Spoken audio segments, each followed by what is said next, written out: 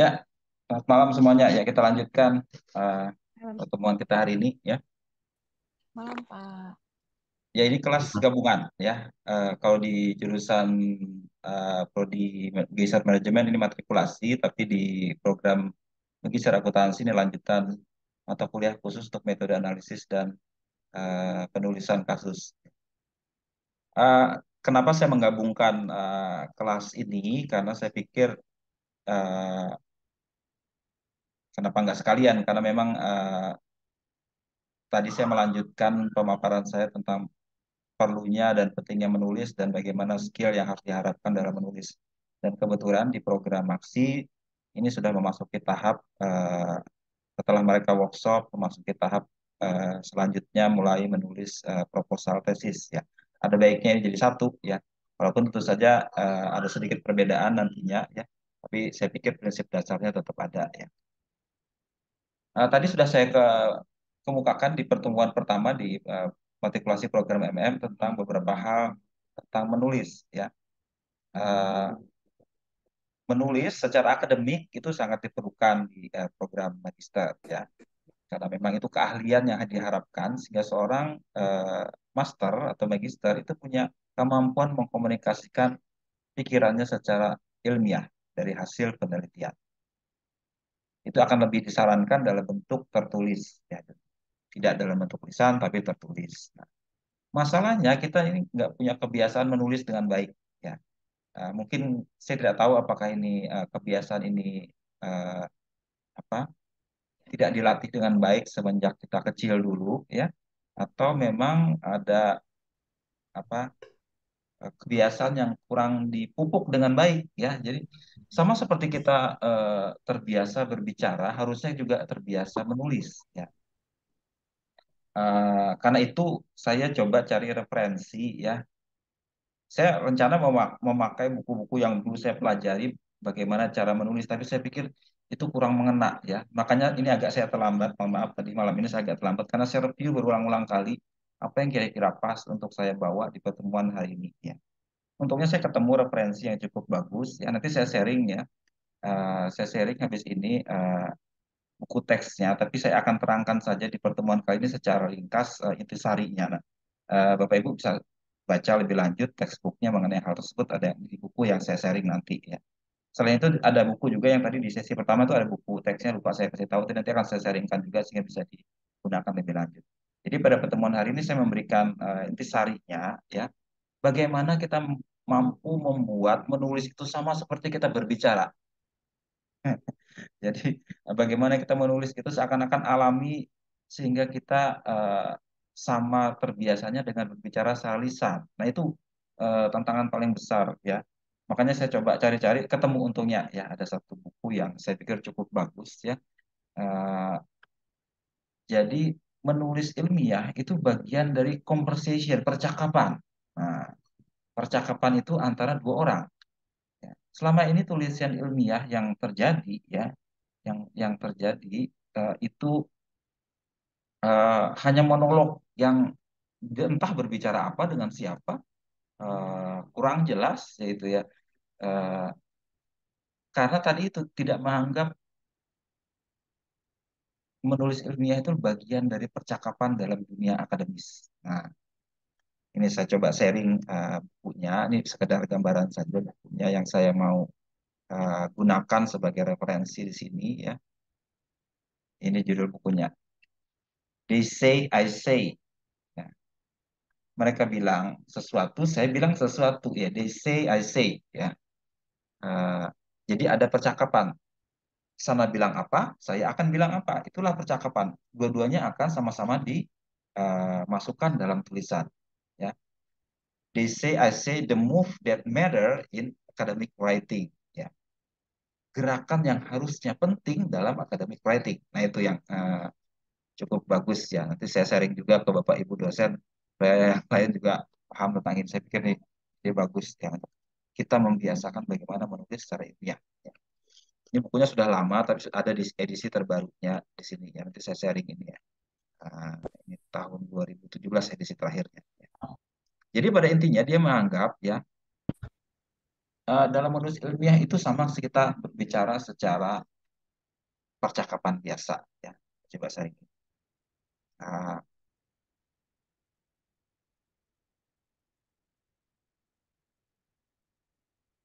they say I say ya integrating idea from they say I say into your writing. Ya bagaimana kita mengintegrasikan istilah uh, Anda mengucapkan sesuatu saya mengucapkan sesuatu jadi satu conversation tadi dalam bentuk uh, tulisan ilmiah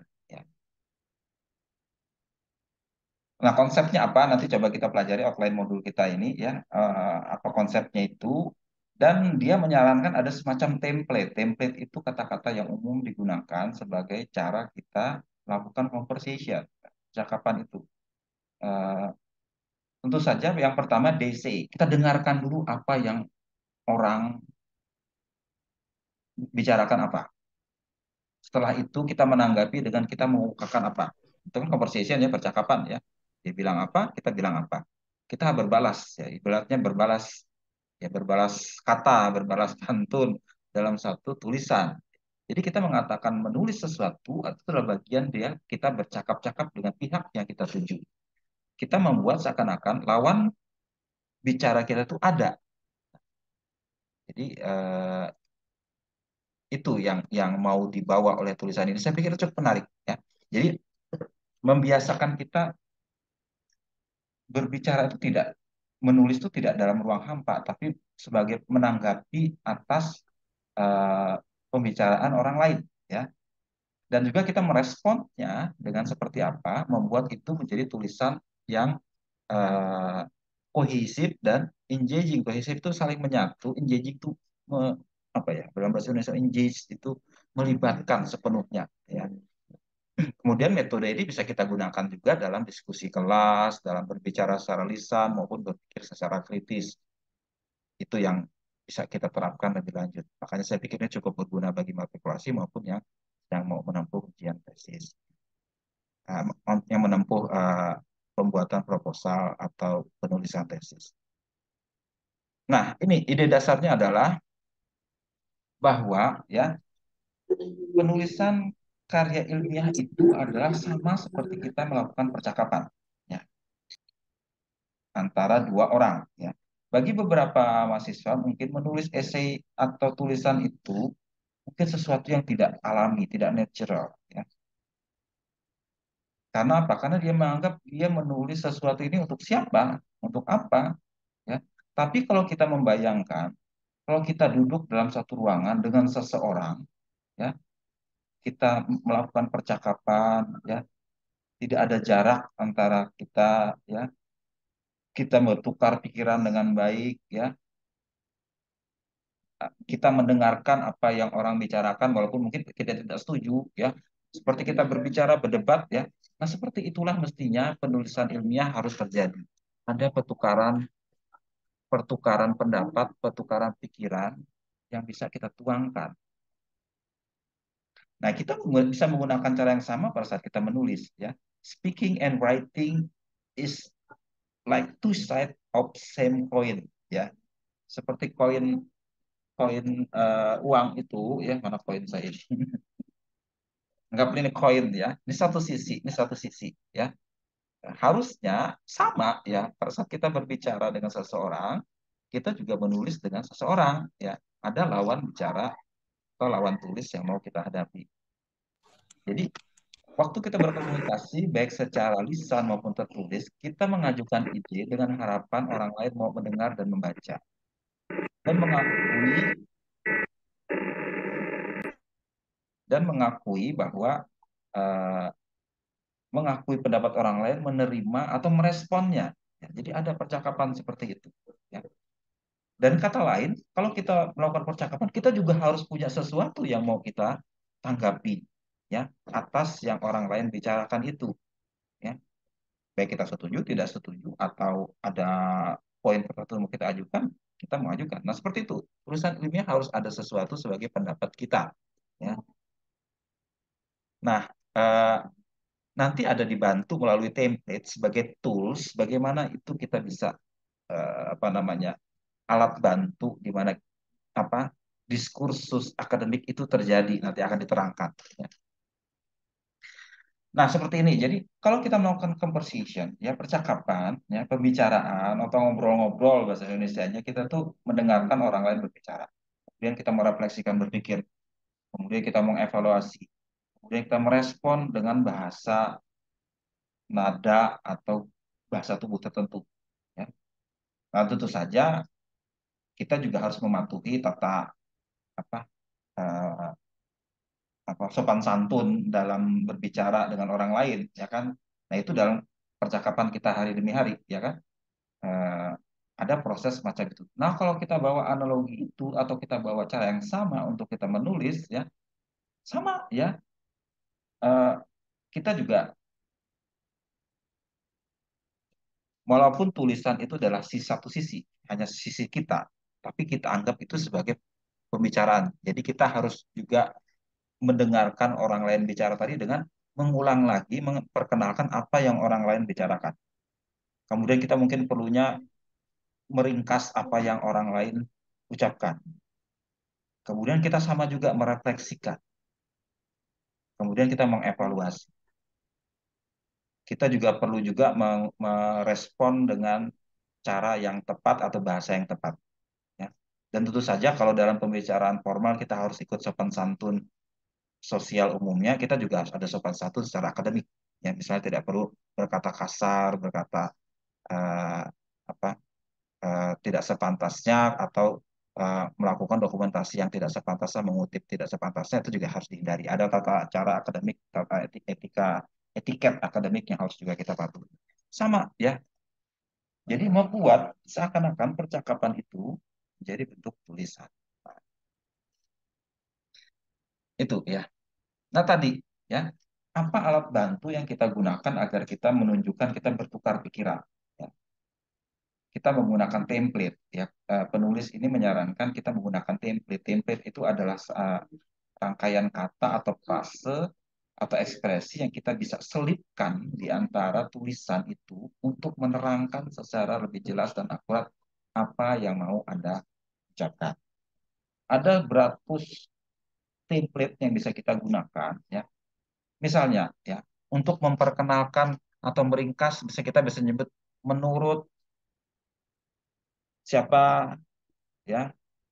Menurut Insinyur Soekarno kemerdekaan itu adalah hak segala bangsa misalnya seperti itu kan menurut ya kan. Jadi kita mengucapkan apa yang orang lain ucapkan according to ya dalam bahasa Inggris according to. Ini menurut. Ya. Atau kita mau menunjukkan kita setuju atau tidak setuju dengan pihak lain bisa kita ungkapkan, ya kan? Dalam hal ini saya sangat setuju. Ya.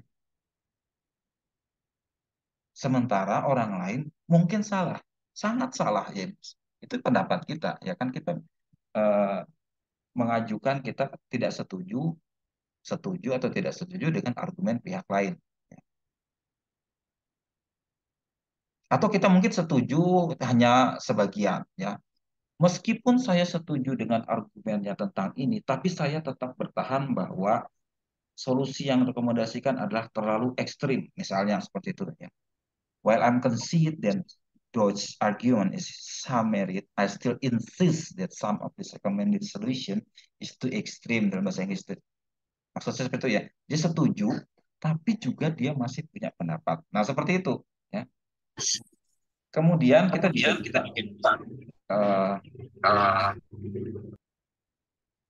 membuat argumennya itu teratur dengan membuat misalnya susunan pertama, kedua, ketiga. Nah itu kan eh, itu adalah cara kita me, apa, mengajukan argumen kita atau pendapat orang lain. Ya, biasanya kita susun satu, dua, tiga gitu ya.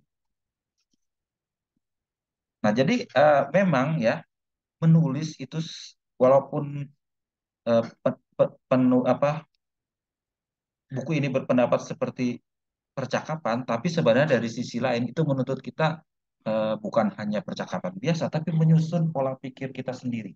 Ya, kita harus menyusun ya yang percakapan alami yang hampir otomatis saja terjadi itu menjadi sesuatu yang terstruktur ya. Itu memang uh, tidak apa tidak mudah ya. Tapi ini kita perlu kebiasaan biasanya. Jadi inti yang diajukan oleh si penulis ini adalah kita bisa menggunakan analogi percakapan itu pada saat kita menulis. Walaupun dalam menulis kita membuat itu terstruktur ya. Tidak tidak dalam artian seperti orang bicara tanpa apa tanpa alir tanpa struktur tertentu. Dia membuat pembicaraan itu terstruktur ya dalam bentuk tulisan. Terus apakah kita tidak masalah nih pakai template. Nanti dibilang plagiasi atau bagaimana enggak sama sekali tidak ya. Template ini membantu kita eh, membuat tulisan itu mengalir ya. Jadi template penggunaan kata-kata itu ya menurut dan sebagainya nanti kita uh, identifikasi satu-satu ya. Itu membantu kita menyusun kalimat dengan baik ya pertama itu bukan merupakan uh, plagiasi karena itu ekspresi yang umum kita gunakan tidak melekat ke satu orang penulis ya orang semua orang menggunakan ya. dan hanya sebagian kecil kalimat, bukan kalimat utuh. Menurut ini, meskipun begitu, itu adalah uh, hanya bagian dari satu kalimat, bukan kalimat yang utuh yang bisa kita tiru, dianggap itu sebagai plagiat, bukan. Ada masalah pakai itu. Nah, tadi ada konsep kita mendengarkan apa yang orang lain katakan. You say. Ya, you say, kita summarize dan kita quote. Summarize kita ringkas dan kita gunakan sebagai kalimat orang lain yang kita masukkan dalam tulisan kita. Summary atau ringkasan itu adalah bentuk ringkas dari pekerjaan yang lebih besar, misalnya buku atau artikel. Kita ringkas. Ya. Jadi ringkasan itu harus secara ring, apa, singkat, komprehensif, objektif, menguraikan konten dari tulisan yang original. Dan kata lain, ringkasan itu adalah lebih lebih singkat yang meringkas atau merangkum dengan bahasa atau pandangan yang digunakan oleh si penulis aslinya. Tentu saja kalau kita membuat summary itu tergantung kita mana yang kita anggap relevan, ya. Eh, dan eh, apa? Itu juga bisa kita interpretasikan sendiri dan analisis sendiri boleh ya. Tapi pada intinya kita mengucapkan seperti itu. Menurut pendapat pengamat politik tadi ya misalnya kita mendengar tadi uh, ada pengamat politik yang bilang seperti ini seperti itu. Nah coba kita summarize si pengamat tadi mengatakan bahwa terjadi polarisasi uh, orientasi politik pada saat menjelang uh, pilpres tahun 2024 misalnya seperti itu nah itu kan pendapat dia yang coba kita ringkas ya dalam bentuk tertentu. Ya. Nah ini sebenarnya mirip dengan apa yang disebut parafrase. Ya, parafrase kita mengucapkan kembali apa yang orang lain tuliskan. Nah, pada saat kita mengutip atau quoting, ya quote, quote itu kita mengutip pendapat orang lain, Tentu saja kita memilih mana kalimat yang kita anggap penting dan relevan untuk kita kutip, ya. Nah, dalam mengutip kita harus yakin bahwa eh, pembaca harus tahu bahwa kita mengutip punya orang lain, bukan pendapat kita, ya.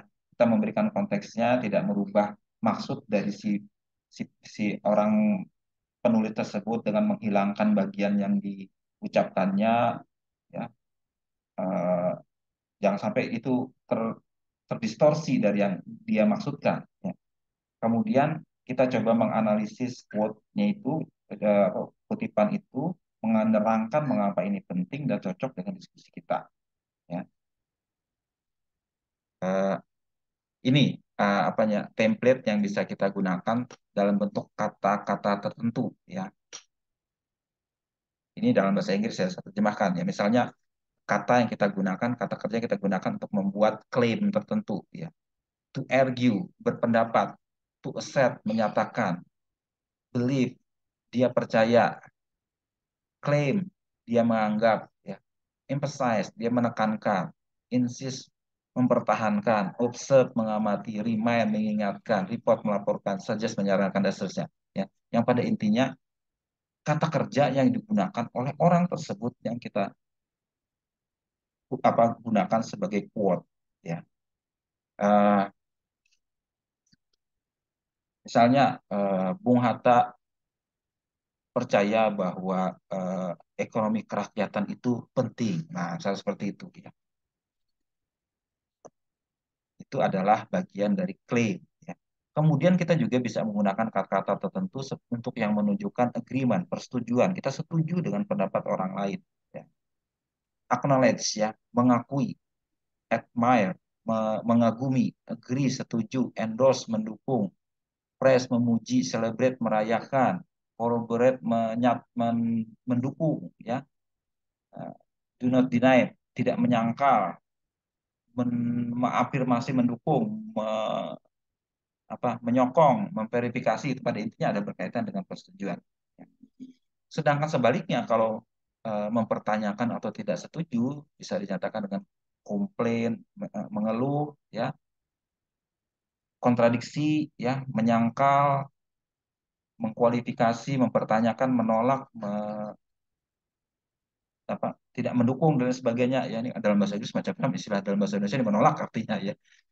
Nah, itu adalah bagian dari persetujuan. Nah, kalau membuat rekomendasi bisa macam-macam. Ya, pada intinya adalah kita menggunakan kata kerja yang menunjukkan pihak lain bagaimana bersikap atas sesuatu.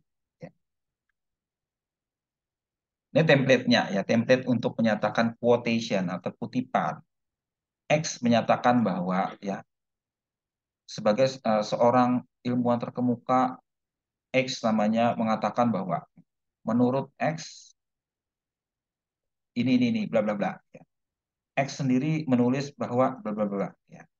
Atau kita menyebutkan dalam bukunya Ciao ya X menyatakan bahwa nah seperti itu ya. Jadi kita mengutip pendapat orang lain menyebutkan kata kerja yang menyatakan apa dia nyatakan di situ. Ini introduction, introduction ya memperkenalkan Sedangkan explaining itu menjelaskan, ya, menjelaskan orang lain bilang apa. Ya. Pada dasarnya X memberi peringatan bahwa nah, dengan kata lain X berkata bahwa ya, seterusnya. Ya. Pada intinya semuanya ini adalah menjelaskan apa yang orang lain bicarakan. Itu you say. Nah sekarang I say, ya, I say apa tanggapan kita atas bicara orang lain ya? Kita bisa merespon dengan paling tidak tiga cara. Kita setuju agree tidak setuju dengan pendapat pihak lain atau kita setuju dalam beberapa hal tapi tidak setuju dalam hal yang lain ya Pak? Tentu saja sudah kita pikirkan ya kan saya tidak setuju dengan pendapat itu karena menurut saya pendapat itu terlalu ekstrim tidak sesuai dengan kenyataan. Ya. Kita bisa argue, ya, berpendapat. Nah inilah uh, kita harus membiasakan berpikir, ya, apa ada alasan yang masuk akal untuk tiap pendapat yang kita katakan, baik kita setuju maupun tidak setuju. Itu harus dinyatakan. Uh, sebagai orang ilmiah, kita harus terbiasa mengucapkan sesuatu secara apa secara terstruktur ya. Tidak ngawur ya. Maksudnya kalau kita uh, ngobrol di warung asal-asalan itu kan kadang-kadang tidak struktur ya. Nah, kalau kita menyatakan pendapat sesuatu sebaiknya kita punya poin-poin yang memang masuk akal ya. Saya tidak setuju dengan kebijakan tentang ini kenapa orang lain menyatakan tidak setuju aja saya nggak suka ya nggak bisa kayak begitu orang ilmiah nggak ngomong begitu ya Orang ilmiah punya dasar tertentu. Kenapa dia setuju dan tidak setuju? Ya. Itulah prinsip ilmiah. Prinsip ilmiah didasari pada fakta, ya. data dan fakta yang secara objektif bisa kita pertanggungjawabkan. Nah itu. Ya. Nah, eh, sering kali dalam kita berpikir, dalam proses berpikir mungkin setelah kita refleksikan beberapa pendapat kita atau kok tidak masuk akal ya, tidak cukup punya dasar yang kuat kita boleh mengubah. Nah itulah dalam proses kita menulis kadang-kadang beberapa hal rontok dengan sendirinya. Oh ternyata pikiran saya salah ya. Kalau saya pikir masak-masak, nggak seperti itu. Ya, setelah saya baca-baca banyak hal, fakta-fakta saya coba ungkapkan, dapatkan datanya, oh, juga seperti itu. Nah, berarti kan kita bisa uh, ada proses berpikir, proses sintesis di situ, uh, di mana kita bisa memperbarui mungkin pendapat kita sesuai dengan fakta. Orang ilmiah itu uh, bersedia merubah pendapatnya kalau itu tidak sesuai dengan fakta, ya, data. Uh, tidak ngotot mempertahankan pendapatnya semula, tidak mau uh, mengakui adanya fakta. Itu bukan orang ilmiah, itu ya orang uh, apa orang kolot yang nggak mau berubah pikirannya. Nah, itu bisa saja dalam proses menulis seperti itu. Ya. Uh, saya sering mengalami ya pada saat mungkin anda-anda sekalian juga ya pada saat mungkin pada awal penelitian kita beranggapan seperti ini. Eh begitu jalan penelitian apa yang saya anggap semula atau saya juga semula, nggak seperti itu. Ya. Nah itu terpaksa harus kita rubah. Ya. Karena fakta yang kita dapatkan justru tidak mendukung apa yang kita duga semula. Bisa terjadi seperti itu. Ya. Nah, eh, dalam kita balik lagi ke sini, uh, jangan juga kita tergoda untuk langsung setuju dengan pendapat seseorang yang mungkin punya reputasi. Ya, kita harus tetap kritis. Ya. Benar nggak sih pendapat dia itu? Ya. Jangan mentang-mentang dia ekspor orang terkenal kita terima pendapat dia enggak ya. Jadi kita harus mampu juga ya memikirkan kembali secara kritis apakah hal tersebut cukup didukung oleh fakta.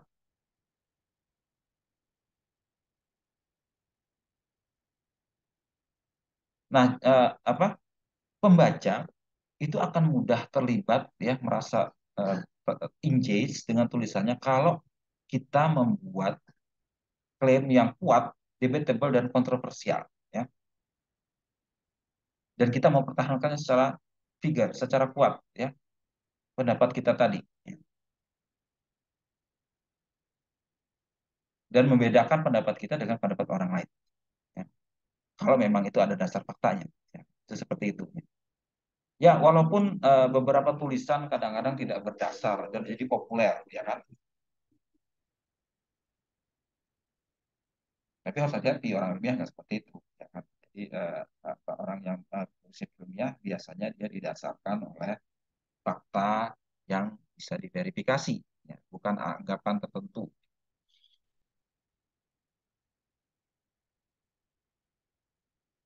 Apa pun posisi yang kita mau pilih, ya, kita harus uh, apa memahami dan membedakan uh, mana pihak yang mendukung dan tidak mendukung ya itu setelah kita you say I say sana bisa balik lagi ya. Ada counter argumen. Ya pihak sana menyatakan tidak setuju dengan pendapat itu gitu ya. Yang namanya percakapan ya. Debat misalnya ya. Bukan debat kusir ya. Debat ini ya enggak seperti itu enggak seperti ini. Jadi uh, perlu juga ya kita mempertimbangkan dan merespon kalau itu pendapat itu berlawanan ya.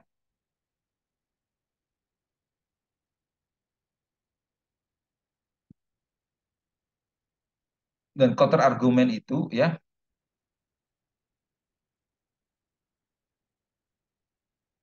sebaiknya ya eh, apa namanya supaya kita kuat bertahan dari counter argumen kita harus berdasarkan fakta tadi itu ya. Kuat benar dan apa kita inform fair dan juga tidak bias tidak uh, menyimpang seperti itu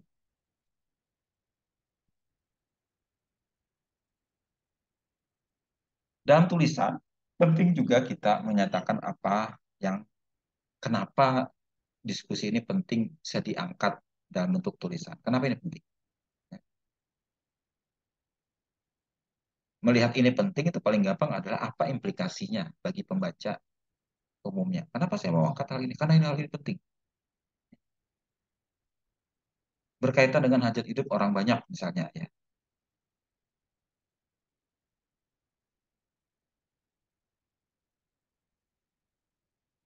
Dan apa namanya, walaupun Anda menganggap topik itu penting, tapi mungkin orang tidak akan tertarik ya kalau dia tidak dikemukakan pentingnya masalah itu apa nah itu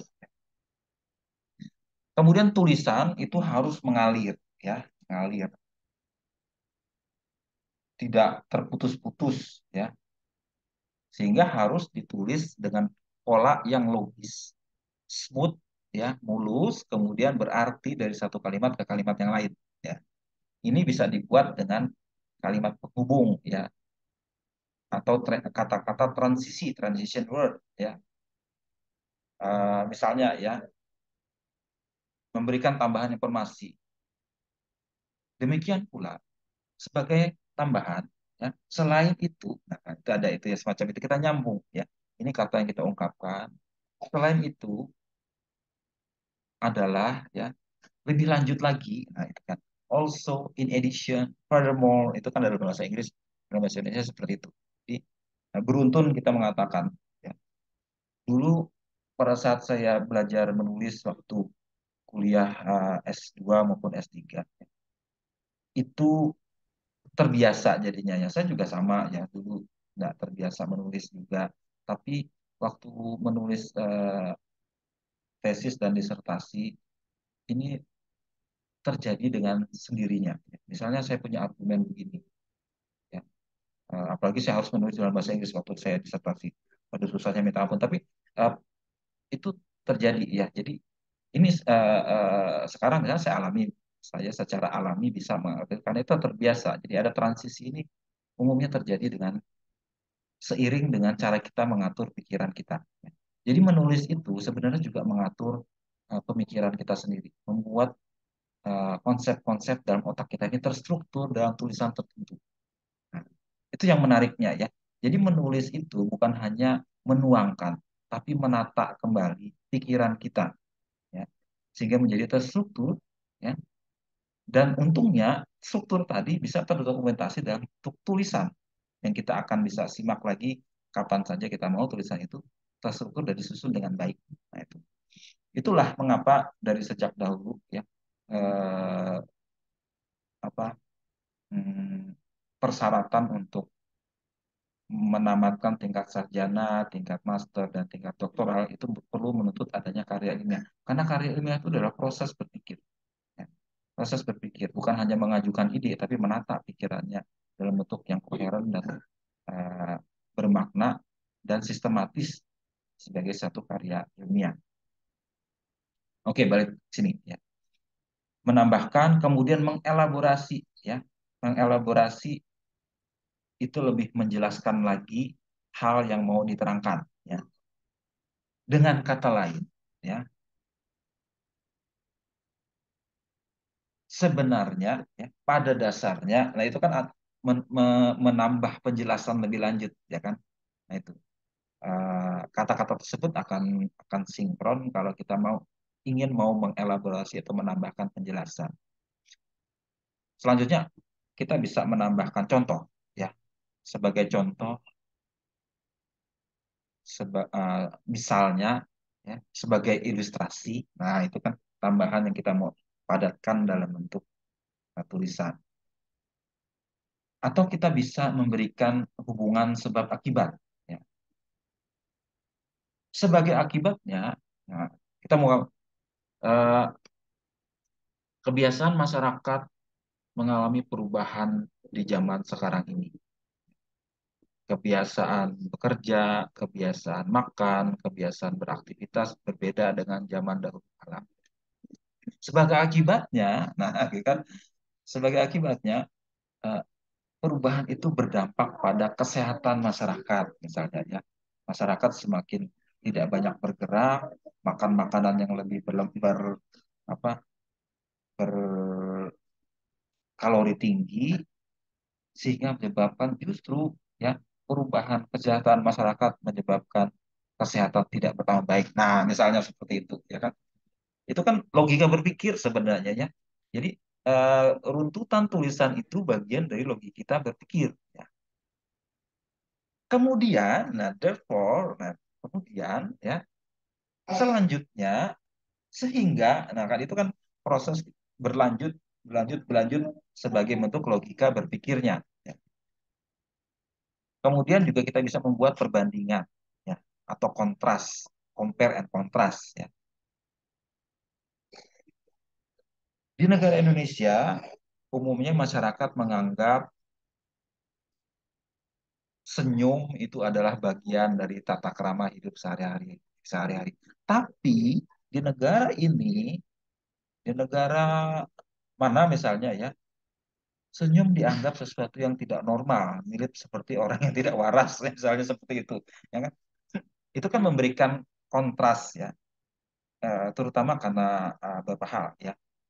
Jadi itu adalah eh, membantu kita berpikir sudut pandang kita terhadap macam-macam. Ya.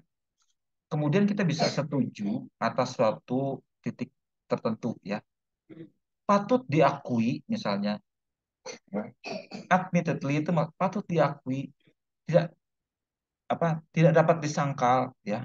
Tidak dapat terpungkiri. Nah itu kan menunjukkan uh, kita menunjuk pada suatu poin atau suatu hal ya.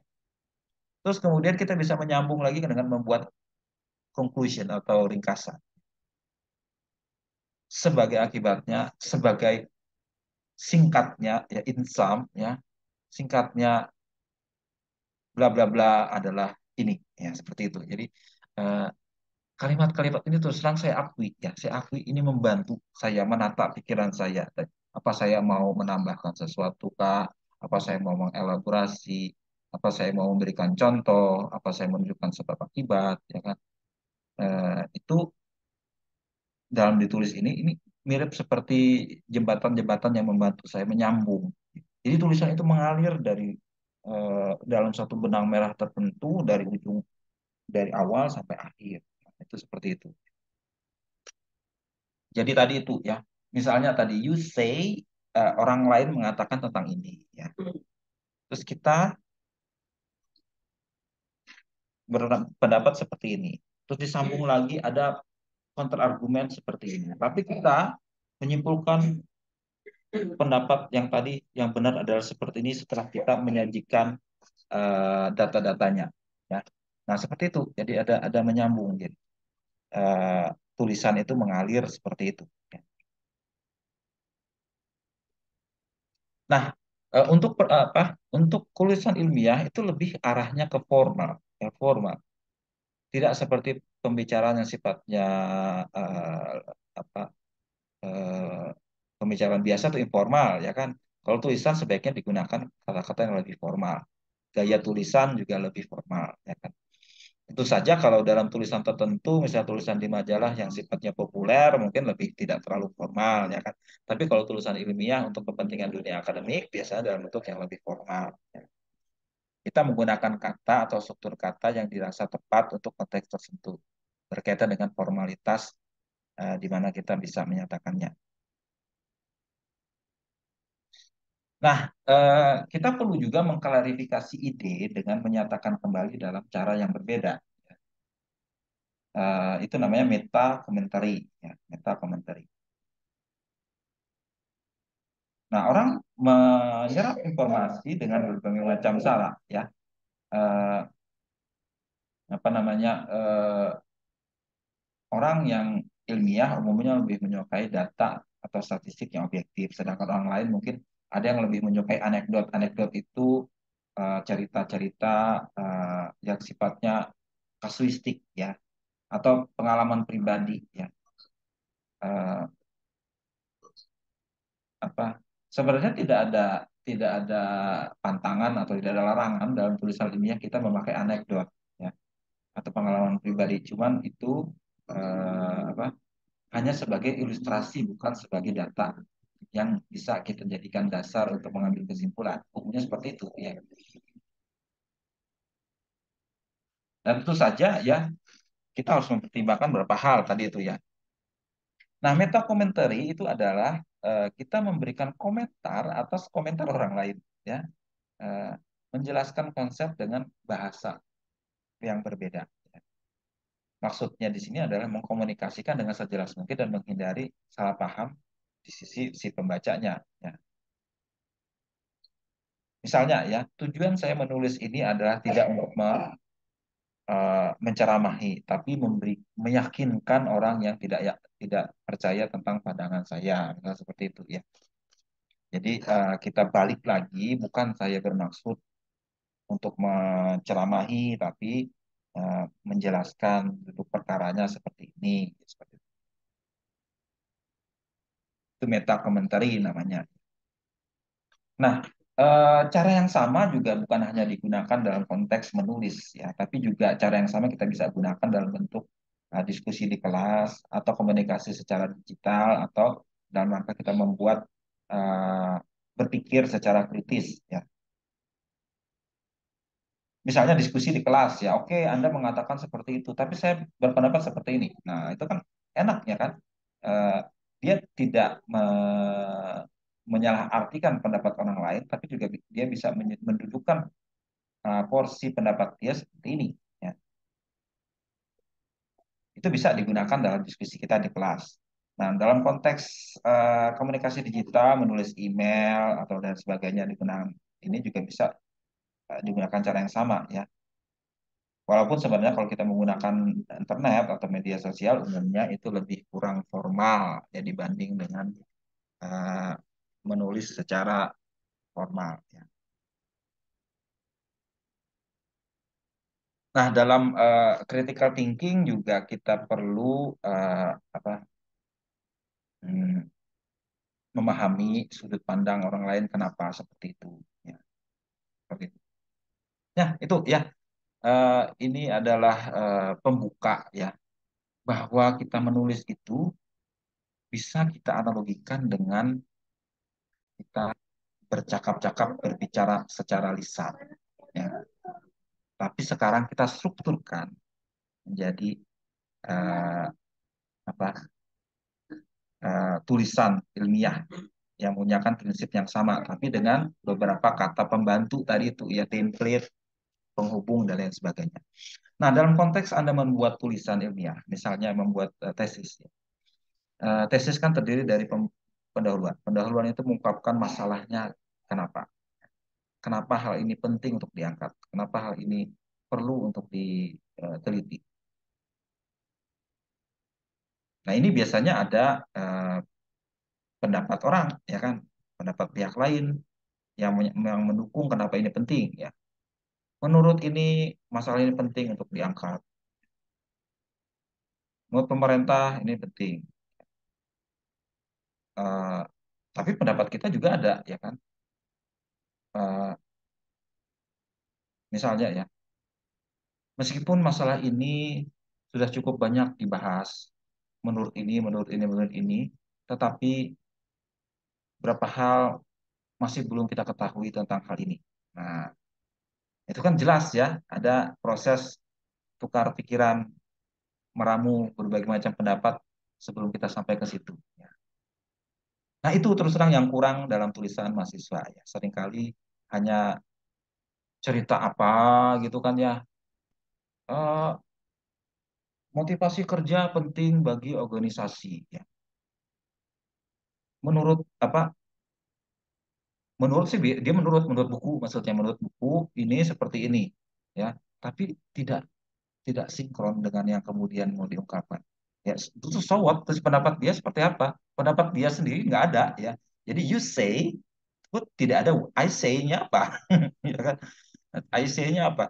Eh, karena itu penulis berpendapat lah, kenapa berp uh, berpikiran bahwa ini penting untuk diajukan. Tapi sebelum dia mengatakan itu, apa sebenarnya yang perlu ini agak kurang. Nah itu yang yang coba kita harus ingat ya. Ada sebaiknya dalam semua bentuk tulisan di tahap pendahuluan, apalagi di tahap tinjauan pustaka, ya itu perlu ada proses macam itu. Jadi timbal balik ada you say, I say, kemudian uh, counter I say-nya apa, kemudian kita ambil uh, pendapat kita sendiri apa sebagai tanggapannya, ya. Sebagai tanggapan kita apa? Misalnya, ya penelitian ini penting karena uh, apa Eh, di banyak organisasi hal ini belum bisa dipahami. Menurut penelitian oleh siapa ya atau data yang dikumpulkan oleh BPS ternyata masalah ini menjadi masalah penting ya. Oke, itu pendapat orang lain, ya kan? Nah, pendapat kita eh, kita masukkan, ya, tanggapan kita, ya. Mungkin kita setuju dengan pendapat itu, ya, dengan memasukkan uh, uh, pengakuan kita, ya, ya. Uh, apa namanya? Uh, coba saya saya bantu lihat aja ya dari tulisan, ya lebih real kalau saya bawa itu dalam bentuk tulisan tulisan ilmiah di paper misalnya ya. Saya uh, gambling saja gambling apa saya ambil acak saja dari salah satu tulisan. Ntar saya coba ya. Tulisan. Atau paper yang saya bikin sama mahasiswa deh ya.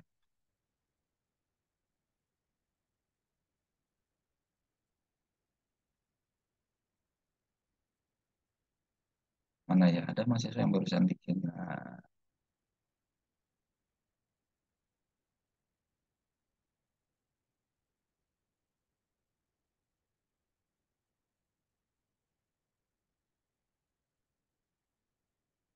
Bentar ya saya ambilkan dulu foto.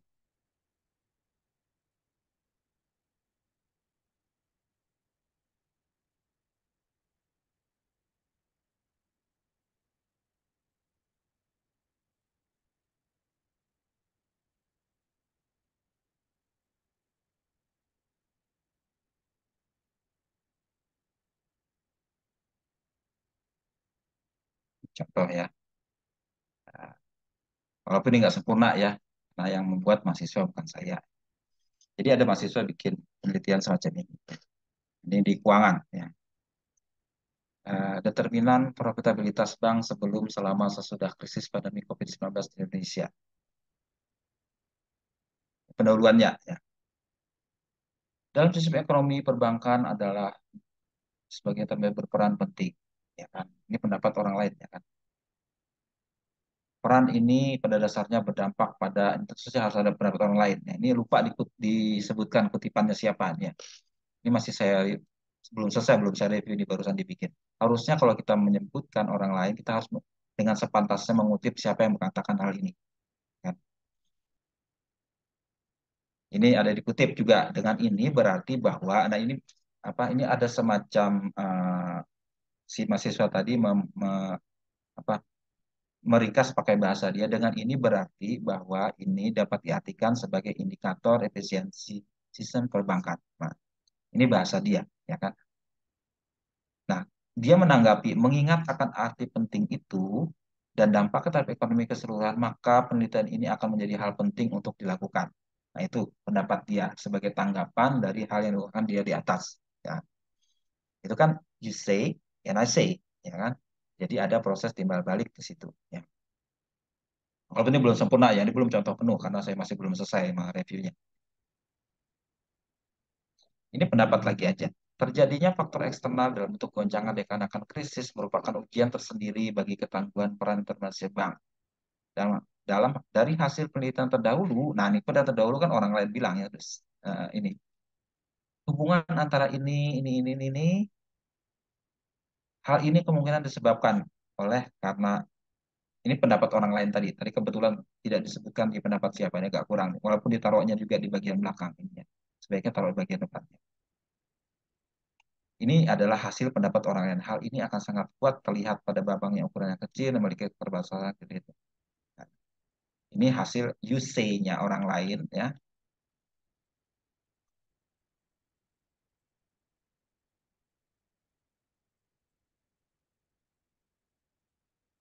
Nah ini dia berbicara fakta juga ya. You say uh, uh, apa? Tadi itu ditanggapi bahwa Nah ini pendapat dia, kondisi bahwa ukuran bank berdampak tapi pada perlu digarisbawahi secara khusus. Meningkat penting hal ini, pihak regulator menuntut agar, nah ini dia mengutip pendapat pihak lain untuk menyokong pendapat dia. Ya, Nah, kebetulan dia menggunakan aturan undang-undang yang mengharuskan itu. Jadi, ini akan lebih menekankan pendapat ya ini penting ya karena pemerintah juga menganggap ini penting. Nah seperti itu. Nah, jadi ada proses timbal balik, timbal balik, timbal balik di situ. Akhirnya dia mengajukan penelitian ini bertujuan untuk menguji ini ini ini, ini uh, seperti ini. Ini tentu saja nih IC-nya sebagai tanggapan dia atas hal di atas tadi. Ini pendapat dia, penelitian berkontribusi dan sebagainya. Nah ini adalah bagian dari pendahuluan kalau dalam bentuk tesis atau publikasi. Jadi ada timbal balik seperti itu. Ya. Ada you say, I say, responnya apa, nah, kita menyorongkan pendapat kita seperti apa, seperti itu. Ya.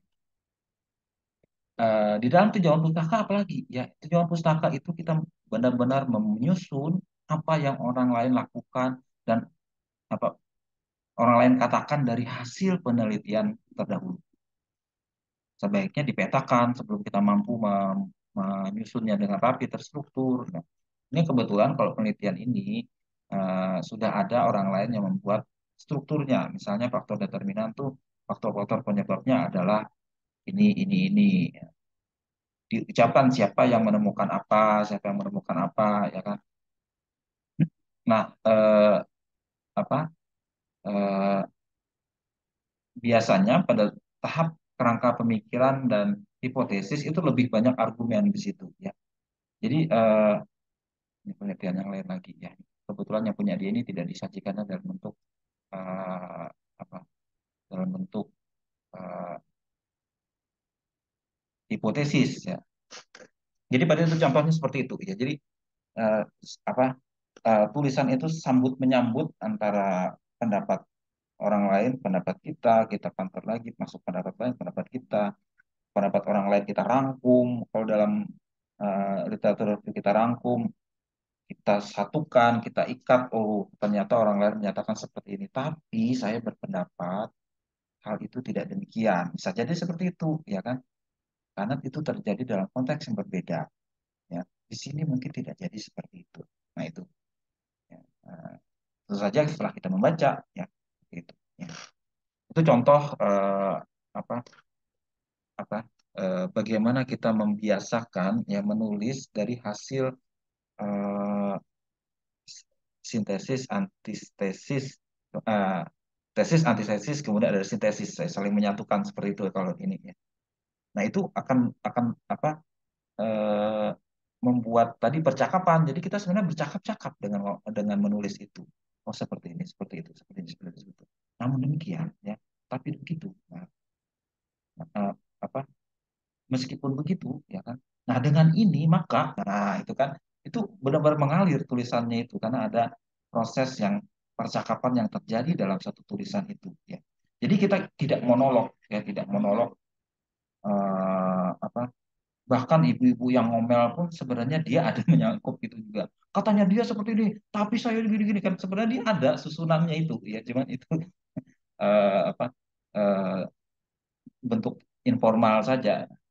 Tulisan ilmiah terlebih lagi ya, yang menjadi dasar dari pendapat orang lain, pendapat kita itu berdasarkan fakta-fakta semua itu ya. Atau bisa jadi pendapat orang lain tidak berdasarkan fakta, tapi punya kita sendiri harus berdasarkan fakta, data, statistik, atau uh, apa uh, hasil apa pun yang sifatnya ilmiah yang kita jadikan dasar. Nah, itu. Jadi sambut menyambut sampai ke ujung tulisan sampai ke kesimpulannya. Dengan ini maka disimpulkan bahwa ini ini ini ini. Saya menyarankan berdasarkan ini maka hal ini dari hasil pembahasan itu perlu dilakukan ini. Nah, yakin kan, tulisan benar-benar enak dibacanya dan uh, persuasif jadinya ya. Itu yang yang perlu dilakukan. Jadi itu bukan hanya di tesis ya, tapi di essay, di tugas-tugas kuliah juga bisa dilakukan semacam itu. Jadi ada proses uh, saling sambut menyambut ya uh, apa istilahnya itu uh, gayung bersambut ya satu bersambut jadi mengalir seperti itu ya. uh, kerangkanya bisa tadi uh, apa kita setuju menyokong pendapat pihak lain bisa ya misalnya ya uh, setuju itu uh, tadi kan ada tiga tanggapan kita setuju, kita tidak setuju, atau kita setuju dalam satu hal tapi tidak setuju dalam hal lain. Jadi setengah setuju, setengah tidak ya. Nah, eh, kalau pendapat setuju kita jelas mensupport pendapat orang lain, tapi dengan argumen kita sendiri atau dengan mungkin kita memberikan tambahan argumen baru yang menyokong kenapa kenapa kita setuju terhadap pendapat itu.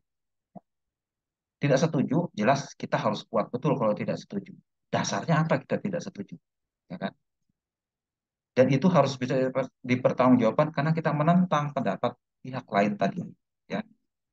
Dan itu harus uh, meyakinkan betul data kita, fakta kita lebih unggul dari data yang disajikan oleh orang yang menyajikan pertama.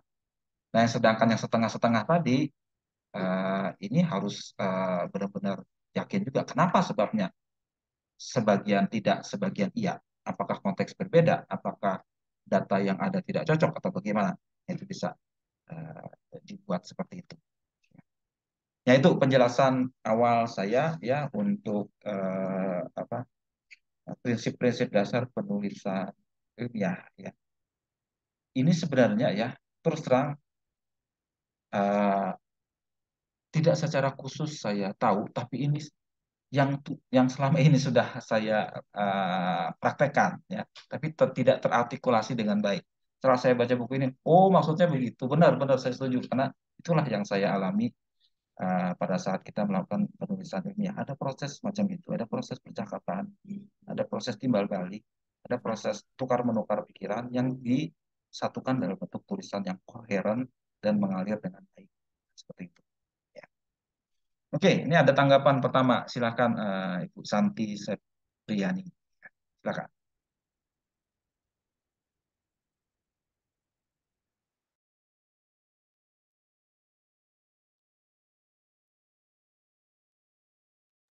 Suaranya belum kedengaran?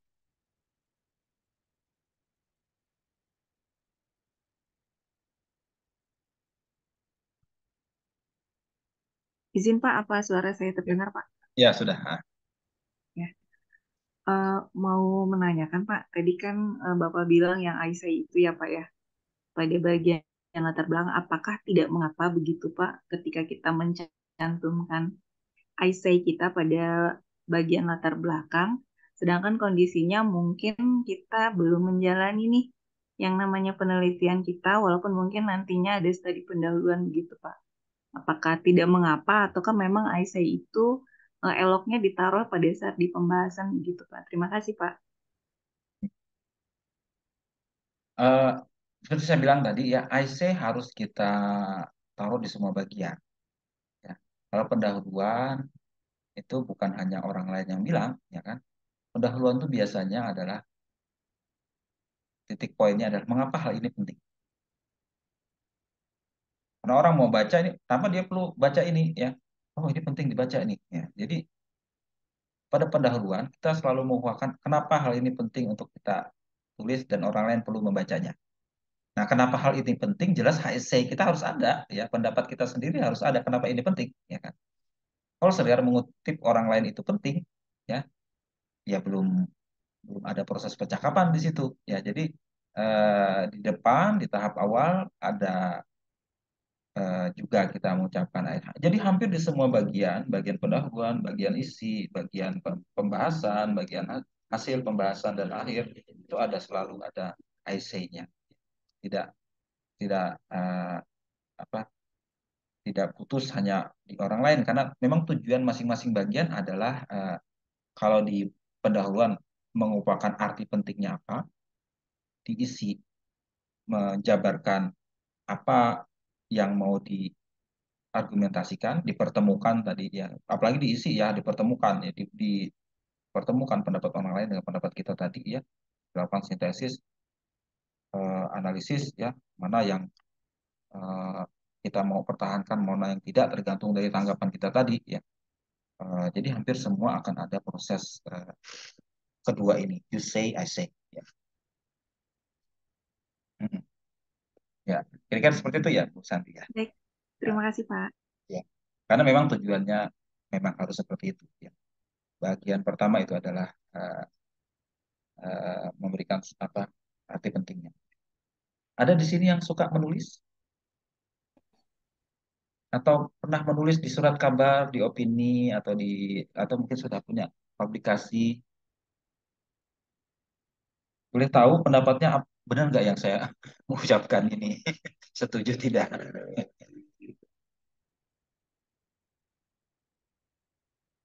Izin Pak, Silakan Pak Wayan. coba lab anu kamera Pak, kemudian sinyalnya baik. Ya. Kalau pengalaman menulis di jurnal, eh, saya belum pernah nih Pak, tapi saya eh, pernah lima tahun jadi jurnalistik Pak, jurnalis. Pernah jadi wartawan? Oh, ya. Iya menjadi wartawan ya. Jadi jadi itu memang agak susah-susah gampang sih. Eh, pertama awal-awalnya tiga bulan itu sangat sulit sekali menyusun kata-kata atau apa yang informasi yang kita dapat dari narasumber. Tapi setelah berjalan sekitar hampir setahun, baru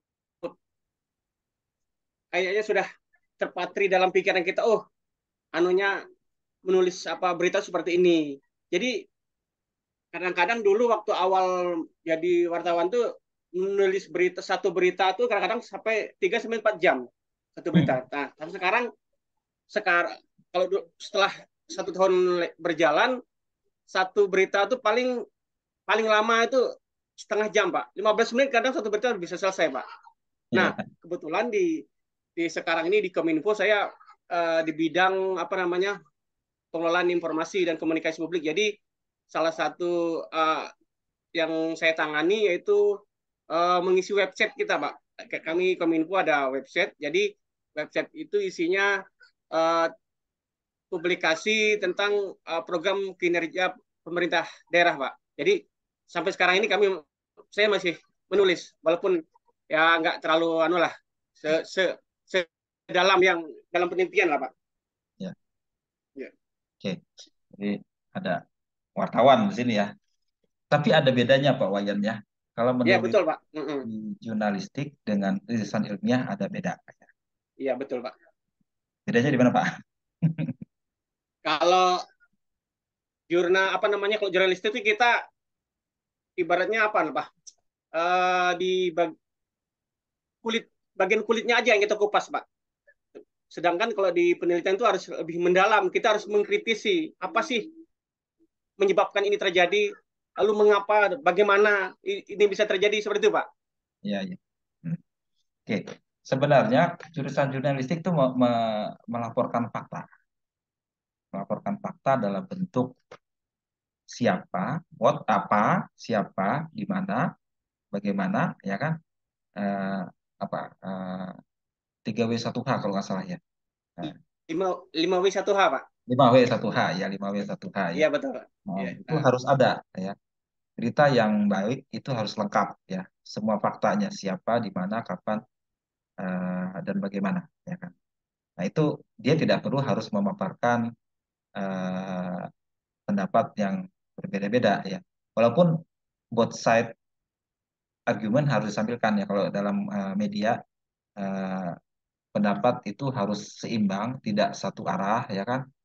Eh, itu pr- prinsip jurnalistik ya kan both side cover coverage ya. Jadi ad- eh, kalau di dalam eh, tulisan jurnalistik pendapat satu harus dilihat dengan pendapat yang lain terserah pembaca menyimpulkan. Jadi tidak satu sisi ya. Itu supaya berimbang ya. Nah eh, di sana tidak dituntut adanya you say I say ya kan? Eh, tidak perlu si penulis mau, perlu mengungkapkan pendapatnya, dia hanya melaporkan saja.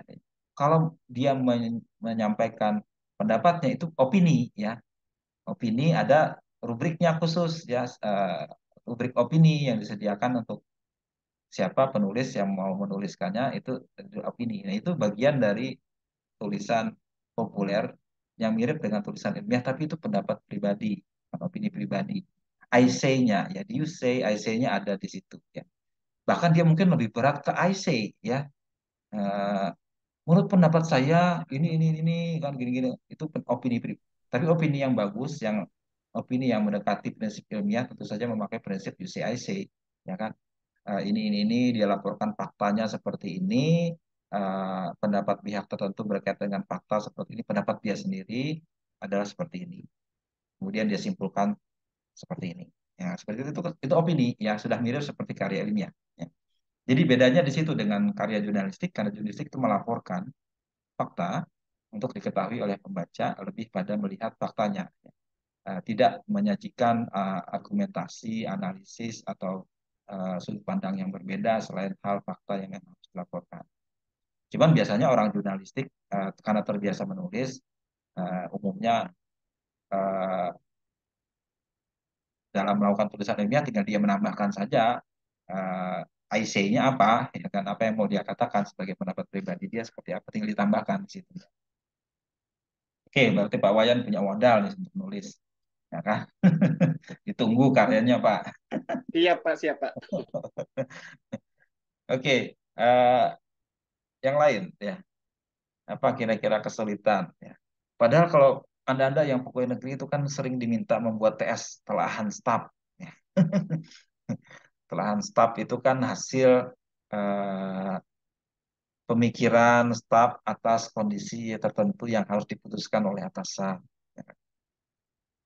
Nah, prinsip say sebenarnya amat berguna ya kan karena telahan staf uh, pendapat stafnya itu sendiri harus tertuang ya kondisi seperti ini, ya kan, pendapat pihak lain seperti ini, hasil ini seperti ini, maka uh, kita berpendapat seperti ini, ya kan, melihat kondisinya dan sebagainya, pesan bisa membacanya. Oh, gitu. Ya.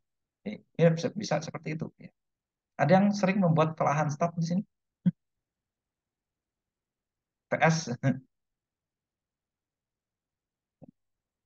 biasanya ada bawahan khusus yang diberi tugas untuk membantu masukan atasan tentang hal tersebut. Nah, uh, itu juga mendekati prinsip tulisan ilmiah. Sebenarnya ada proses uh, you say I say di situ. Ya. Uh, Bu Marita sering pak itu pak.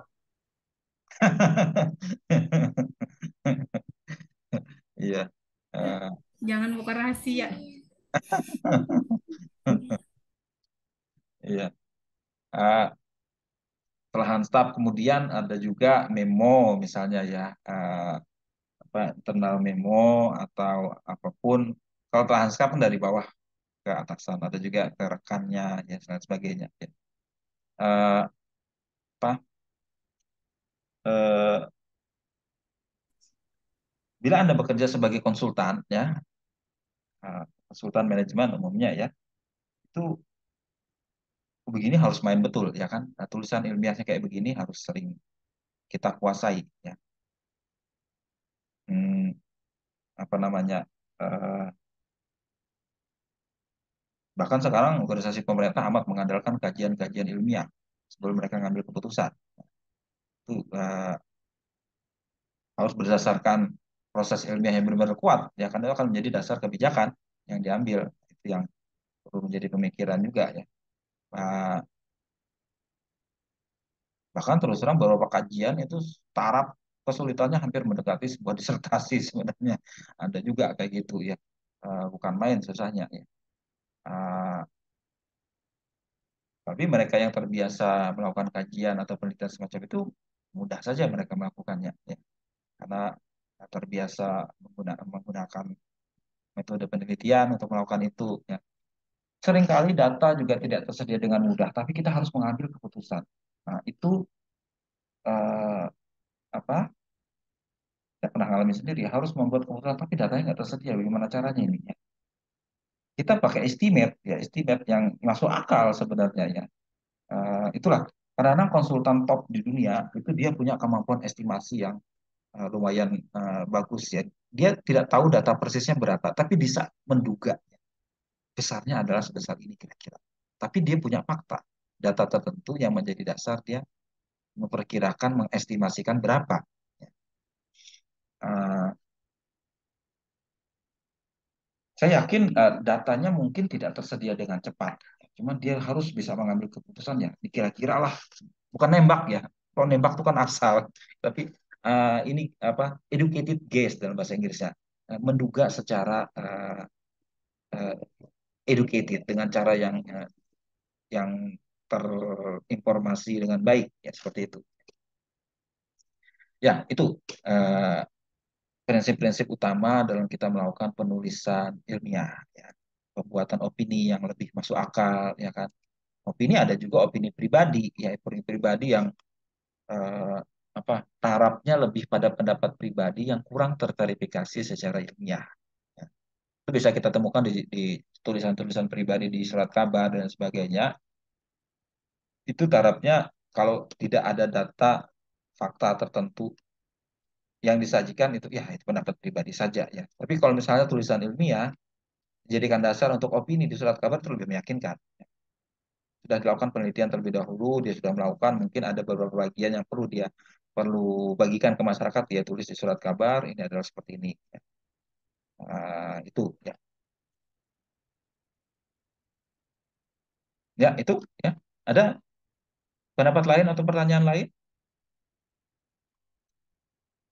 Berkaitan dengan sebentar lagi Anda sekalian yang di semester 3 sudah harus diminta membuat tesis. Ya. Sudah ada masalah penelitian yang Anda coba angkat. Ya. Nah itu uh, apa? Ada baiknya kita harus tahu you say tadi apa yang orang lain katakan tentang topik yang kita mau teliti. Kuncinya 3M tadi banyak membaca ya apa you say-nya tadi? Orang orang lain ngomong apa? Orang lain menemukan apa? Orang lain berargumen seperti apa? Itu yang harus sebanyak-banyaknya kita dapatkan. Sebelum kita mampu membuat IC kadang-kadang kita tidak bisa mengatakan IC sebelum kita tahu you say-nya apa. Nah itulah pentingnya dalam penelitian ilmiah kita melakukan studi literatur tinjauan pustaka. Kadang-kadang ya kita bisa mengatakan IC-nya setelah kita membaca you say-nya ya. Sekarang kita nggak punya pendapat apa-apa Nggak tahu saya ini tentang hal ini. Coba kita baca dulu, kita lihat dulu pendapat orang lain apa. Nah, pendapatnya mungkin ada yang masuk akal, ada yang tidak, ada yang asal-asalan. Nah, dari situlah kita dapat lihat polanya. Oh, saya berpendapat ini nih yang betul nih. Ya, saya setuju dengan pendapat dia. Nah, agree dia dengan dia. Atau ini nih ada yang salah nih. Ya, saya setuju dengan ini tapi tidak setuju dengan itu. Kenapa? Karena begini, karena begitu. Nah, kita juga baca punya dasar juga. Kita bandingkan yang ini bilang begini yang ini bilang begitu ya kan?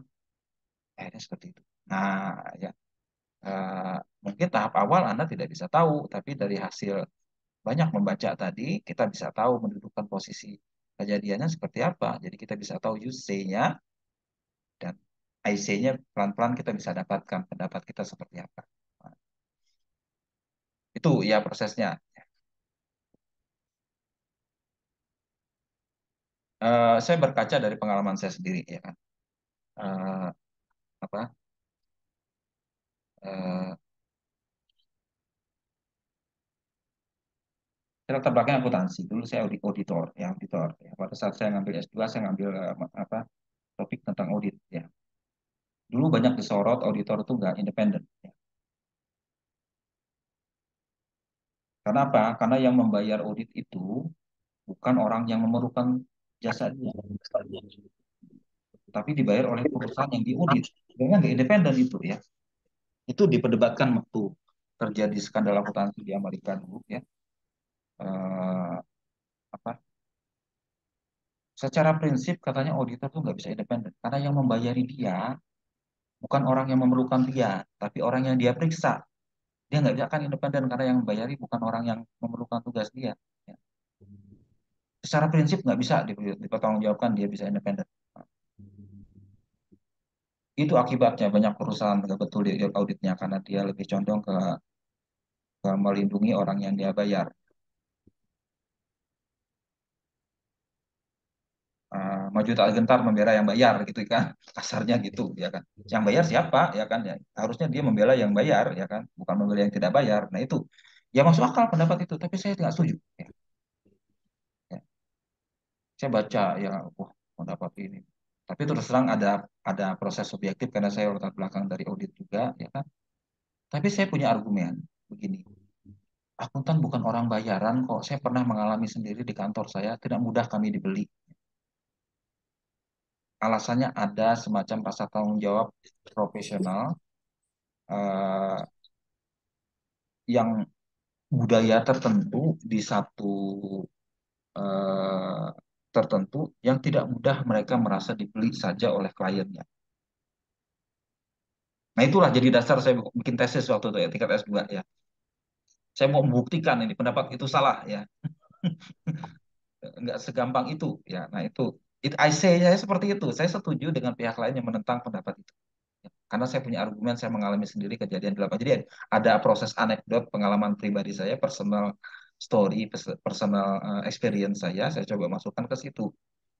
Uh, itu ya. Uh, walaupun hasilnya tidak terlalu kelihatan sekali, tapi uh, sedikit mendukung bahwa itu tidak sederhana itu. Ya, ada proses di mana akan terjadi uh, apa, hmm, apa pergumulan profesional di pihak profesionalnya, mereka tidak mudah sebenarnya dibeli seperti itu. Uh, tapi belakangan ada mahasiswa saya yang barusan meneliti baru-baru ini ya. Uh, Hmm, pendapat yang semula itu ada benarnya juga ya. Uh, tapi ini masih diselidiki, saya belum bisa berbuat apa-apa karena saya masih uh, mencoba menyelidiki apa dia salah cari datanya kah atau apa. Sementara saya walaupun di di dalam penelitian yang ada itu masih bertentangan, ada yang bilang begini, ada yang bilang begitu ya. Ada yang menemukan seperti ini, ada yang menemukan seperti ini. Jadi jangan kaget ya kalau Anda melakukan penelitian apa studi pustaka, itu penelitian hasilnya bertentangan satu menemukan seperti itu, satu menemukan seperti ini.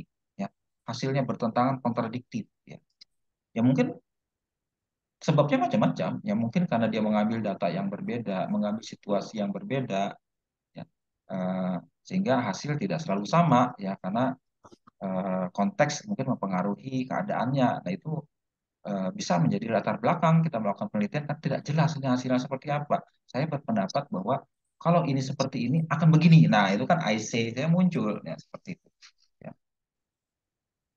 Jadi seperti itu, saudara-saudara. Jadi uh, yang saya lihat ya sama sekali tidak ada proses. Uh, ada beberapa penelitian tesis sekalipun yang sama sekali tidak ada uh, proses say-nya. Dia mengikuti aja orang lain bilang ya penelitian terdahulu dapat seperti ini ya. Sehingga di apa penelitian ini menyatakan seperti ini sehingga dilanjutkan hipotesis seperti ini ya. Nah, IC-nya mana ya? Dia hanya mengutip punya orang lain say aja. Say dicontoh habis sama dia jadikan penelitian. Itu nggak lengkap sebenarnya ya tidak ada proses di situ dia menganalisisnya mendukungnya di posisi dia di mana ya apa argumentasi dia mendukung dia kalau memang agree agree-nya kenapa ya kan itu tidak ada sama sekali ya itu yang uh, kurangnya. Kalau di tingkat S1 oke okay lah ya karena dia belum banyak belajar. Kalau di tingkat S2 masih banyak terjadi seperti itu ya. Ini saya pikir uh, ada yang keliru nih belum belum betul ini. Nah ini mudah-mudahan dengan ini uh, Anda bisa mengerti ya. Uh, apalagi nanti target kita harus dipublikasikan itu harus harus betul-betul standar itu terjaga ya. Jadi I say apa yang mau Anda ajukan sebagai pendapat Anda pribadi harus kelihatan, harus menonjol dalam uh, karya ilmiah tersebut uh, apa yang mau Anda argumenkan. Uh, itu biasanya muncul tadi di tahap pendahuluan mengenai arti pentingnya, di tahap studi pustaka dan kemudian hipotesis juga itu argumennya main tuh di situ ya. Jadi hasil say yang sudah saya rangkum maka saya berpendapat seperti ini. Ya. Setujukah? Tidak setujukah? Ajukan hipotesisnya yang hasil pemikiran dia. Di pembahasan akan dia tekankan sekali lagi ya. Itu kan itu yang saya duga benar terjadi ya. Orang lain bilang begini, tapi saya menemukannya berbeda atau dia, kalau dia setuju orang lain setuju itu saya mendukung dia karena sebabnya adalah ini. Nah, penelitian saya mendukung sekali penelitian dia bahwa ini penting dalam konteks berbeda di mana saya meneliti di perusahaan ini atau di instansi ini atau di tempat ini atau di lokasi ini ya kan sehingga arti penting tentang hal tersebut perlu ditekankan sehingga yang dilakukan adalah sebagai berikut. Nah, sip kan? Jadi yang membaca juga yakin gitu, persuasif di ininya. Itu ditanya pun mudah ya kan. Nah, itu yang kenapa saya tekankan IC-nya itu harus benar-benar main di situ ya. Pendapat kita seperti apa, pemikiran kita seperti apa. Itulah yang kemarin di tugas SPM itu, mana IC-nya ini? Ini hanya ngambil yang lain, sama sekali nggak ada yang hasil pemikiran dia. Nah itu yang hilangnya di mana di situ. Oke, itu. Ada lagi pertanyaan? Dari mahasiswa Maksi, adakah pertanyaan?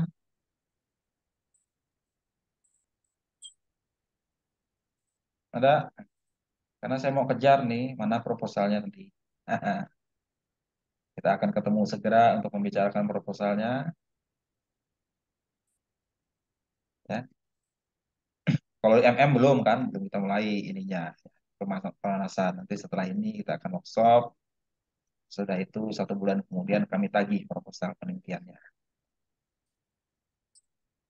Akhir bulan satu bulan setelah workshop untuk yang semester 3 itu kita minta proposalnya diajukan. Ya. Uh, sudah bisa kita mulai silahkan dimulai lebih bagus akhir tahun ini di bulan Desember hasil sudah ada ya enam bulan berikutnya kita proses publik nah itu percepat. Kalau mau lulus lebih cepat ya seperti itu. Ya di, kita majukan ke depan. Kalau menunggu sampai semester depan mungkin ya lewat dua tahun baru lulus. Nah itu. Eh yang masih ada pertanyaan? Malam pak. Ada? Malam pak dengan ya malam ya. Suara saya terdengar ya pak ya? Ya. Um, pak untuk yang maksi ini berarti uh, proposalnya sudah dimulai susun dari sekarang berarti Pak ya? Betul. Nggak apa-apa kasar dulu uh, aja. Nanti kita bicarakan. Oh gitu. Uh, lalu Pak, kalau untuk pedoman buku pedoman penyusunannya itu apakah sudah ada Pak? Maksudnya uh, buku buku panduannya maksudnya Pak? Oh, sedang diproses. Oh gitu. Tapi ini berarti sambil berarti ini sambil jalan aja sudah mulai bisa bikin uh, proposalnya dulu Pak ya. Berarti nanti uh, akhir September seperti yang kemarin itu Pak ya, tetap ya schedule-nya ya untuk itunya ya. Nggak usah menunggu buku pedoman nggak masalah itu. Uh, buku pedoman itu hanya sekedar uh, apa pada saat menyelesaikan itu harus formatnya seperti apa. Tapi isi di isi tesis di mana-mana isinya sama. Pendahuluan, jalan pustaka, rumusan hipotesis, metode penelitian, hasil kesimpulan. sama aja isinya ya kan. Oh. Nah, okay, itu okay, sekedar okay. format saja nanti bisa disesuaikan dengan gampang kalau itu. Nah, Siap-siap Pak. Ya, Makasih Pak. Ya. Ya. Nah. Oke okay, ya, teman-teman yang di MM sebentar lagi uh, tolong Anda pikirkan dari sekarang topiknya di semester 3 ya, tolong Anda pikirkan dari sekarang ya. Apa yang mau diteliti, ya bacalah sebanyak mungkin literatur, pustaka untuk mengetahui apa UC-nya, ya kan. Uh, orang lain mengatakan sejauh ini seperti apa sebelum Anda bisa mengatakan IC-nya apa. Ya, itu. Ya, uh, ditunggu ya. Mereka yang semester 1 nggak apa-apa, berpikir dari sekarang lebih bagus, ya kan. Dipersiapkan jauh-jauh hari, ya. Uh, dulu saya bahkan waktu S2 diminta dari sejak semester 1 bikin proposal. Tolong bikin proposalnya sekarang. Lah saya kan belum ada pikiran, dimarahin saya waktu itu yang marahin Pak. Kamu harus dari sekarang mikirkan yang nggak perlu nunggu sampai semester terakhir. Ah iya Pak. Yang marahin dulu pas menteri Pak Bambang Video. Uh, karena saya anggap saya belum ada apa-apa. Kenapa saya disuruh bikin proposal, saya baru masuk. Enggak, kamu harus punya dari sekarang. Kalau memang di luar negeri memang seperti itu. Ya, sebelum bahkan sebelum masuk uh, program, kita harus buat proposal dulu. Ya. Kita mau meneliti apa? Waktu saya melamar S3 dulu, ya, saya harus buat proposal, kirimkan ke koordinatornya, koordinator yang baca, oh ini bagus layak, eh, baru diterima. Jadi dia menerima berdasarkan proposal kita. Jadi kita harus paham terlebih dahulu tentang apa yang mau kita teliti sebelum kita berangkat.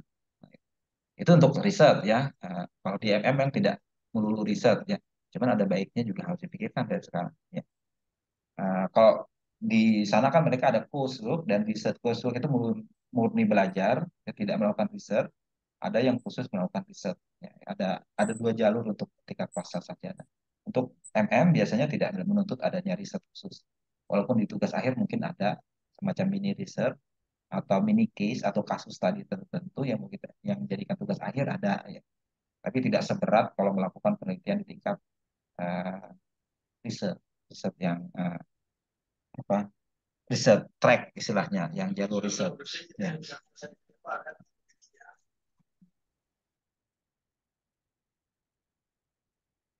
Oke, uh, ada lagi pertanyaan?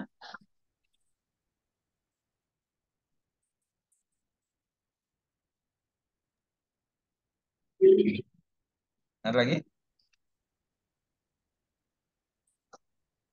Ya, uh, di tiap mata kuliah nanti juga kita uh, mereka semester satu ya. Uh, di kurikulum yang baru sekarang ya kan uh, kami juga menuntut adanya tugas-tugas paper-paper ya semacam itu bisa di dibuat dengan prinsip yang sama. Bahkan tidak harus menunggu tesis kalau ada uh, paper tugas kuliah membuat essay tertentu mungkin itu bisa dipublikasikan ya kan? Uh, itu menjadi poin tersendiri ya uh, dianggap prestasi mahasiswa dan kami akan bisa menghargai itu. Nanti ada bentuk tertentu yang kami hargai kalau mahasiswa membuat uh, membuat publikasi tertentu ya. Saya misalnya waktu S2 membuat tugas kuliah ya ada dua paper saya itu hasil dari tugas kuliah bukan dari hasil tesis saya ya. hasil dari saya melakukan tugas di satu mata kuliah akhirnya saya terbitkan di jurnal. Malah lebih banyak itu dikutip dari tesis saya yang sebenarnya ya. karena judulnya menarik sekali sehingga orang banyak mengutip itu ya. itu dibuat tahun berapa dulu ya terus berapa tahun kemudian saya terbitkan di salah satu jurnal uh, terakreditasi ya. Mungkin karena judulnya seksi berkaitan dengan uh, fraud ya fraud kecurangan banyak orang tertarik ya. Karena itu kan korupsi masalah fraud segala macam itu judul yang seksi orang buat cari ya. Akhirnya banyak dikutip sama mahasiswa dari sama dari mana dari mana dari mana. Itu jadi top uh, top kontributor buat uh, sitasi saya. Sitasi itu uh, berapa banyak tulisan saya dikutip sama orang lain ya. Padahal itu hasil bukan dari riset murni dari hasil tugas kuliah saya ya. hasil tugas kuliah saya khusus untuk uh, mereview penelitian berkaitan dengan hal tersebut ya. di paper itu saya merangkum uh, say-nya apa yang orang lakukan selama ini terus saya polakan strukturnya seperti apa. Nah I say-nya saya adalah polanya tadi itu. Nah uh, polanya saya berpendapat polanya masih ada kurang di sisi sebelah sini ya. Ini harus ditindaklanjuti dengan hal seperti ini. Ujungnya sih nggak banyak berkomentar essay tapi hasil dari uh, struktur atas literatur tadi itu itu yang menjadi pendapat saya yang bahwa ini harus dilakukan ini agak kurang dalam hal ini padahal ini penting. Itu IC-nya saya dari hasil uh, review saya atas literatur yang sudah ada. Oke. Itu uh, contoh uh, apa uh, apa kebiasaan yang uh, dulu sudah saya terapkan dan baru sekarang saya uraikan tadi itu you say IC-nya ada ya saya tidak mau mengutip pendapat orang lain, tapi saya juga mengupakan pendapat saya atas ini. Ya. Nah, IC saya bukan saya agree, tapi lebih pada evaluasi. Ya, evaluasi yang ada adalah seperti ini, kurangnya di sini uh, perlu diatasi di masalah satu-satu ini agar ini akan lebih baik. Ya. Kalau ada waktu mungkin saya mungkin coba follow up lagi tulisan saya yang berapa puluh tahun lalu ya, mungkin saya update ya kalau ada waktu mudah-mudahan orang lain mengutip lagi. Jadi itu yang uh, apa, jadi dasar uh, penulisan ilmiah saya. Oke memang anda di jurusan MM memang tidak seperti uh, apa, jurusan yang lebih saintifik ya. Di, kan ada julur jurusan magister manajemen ada juga khusus magister science ya. Misalnya gelar saya kan MSI bukan MM ya. Uh, MSI itu lebih uh, saintifik lebih banyak uh, ilmiahnya. Ya, kami lebih banyak belajar dari jurnal, tidak belajar dari case study. Ya. Uh, kalau Anda kan lebih ke praktisi, belajarnya dari studi kasus yang sudah saya terangkan di sesi pertama tadi. Kalau mereka yang mengambil jalur MSI lebih banyak belajar dari jurnal, jurnal penelitian yang sudah ada selama ini seperti apa. Dengan harapan kami melakukan penelitian juga yang tarafnya lebih pada taraf uh, lebih tinggi di tingkat uh, apa riset ya Eh, kami tidak menerapkan setinggi itu untuk di MM, tapi kalau mau setinggi itu pun kami support ya, cuman tidak seperti jadi kalau penelitiannya sifatnya kasus sekalipun kami izinkan di MM ya, yang meneliti di satu aspek saja bisa ya kan. Uh, tapi itu harus dengan metode yang sudah cukup memadai ya dengan dengan uh, uh, apa uh, dengan memenuhi standar ilmiah tertentu tetap bisa dijalankan ya. dan tadi itu harus nanti dipublikasikan. Oke, ada lagi ya. Adakah kesulitan paling besar waktu menulis apa? Saya mau tahu sekarang.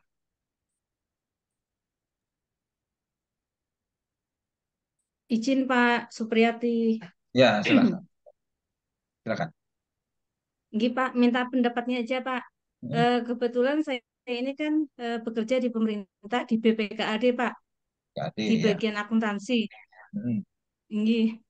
Nah, di situ memang eh, sebenarnya ada banyak lah masalah-masalah yang terjadi. Cuman takutnya kalau kita mau mengangkat itu eh, ke depannya ada masalah maksudnya gitu atau membongkar yang sebenarnya tidak perlu dibuka maksudnya gitu Pak.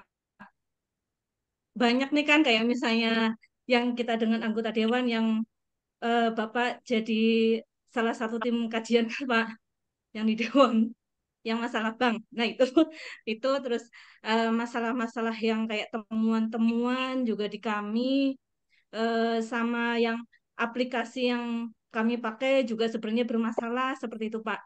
Kalau menurut Bapak, nggak apa-apa lah kalau misalnya kita mengangkat hal-hal seperti itu, Pak.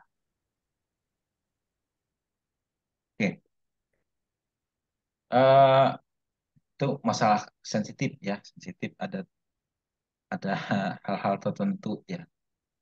Uh, apa? Kita perlu menyiasatinya Bu ya masalahnya uh, apa? Hmm, jangan sampai juga menjadi masalah buat Ibu nanti. uh, apa? Yang netral sajalah ya. Tapi sebenarnya prinsip kebebasan ilmiah kan bebas-bebas aja kita kan kita berbicara dalam konteks ilmiah. Tapi tentu saja ada konsekuensinya, terutama ke ke ibu nantinya. Jadi ada baiknya ya umum-umum saja, tapi sebenarnya agak menyentil ke situ. Ya.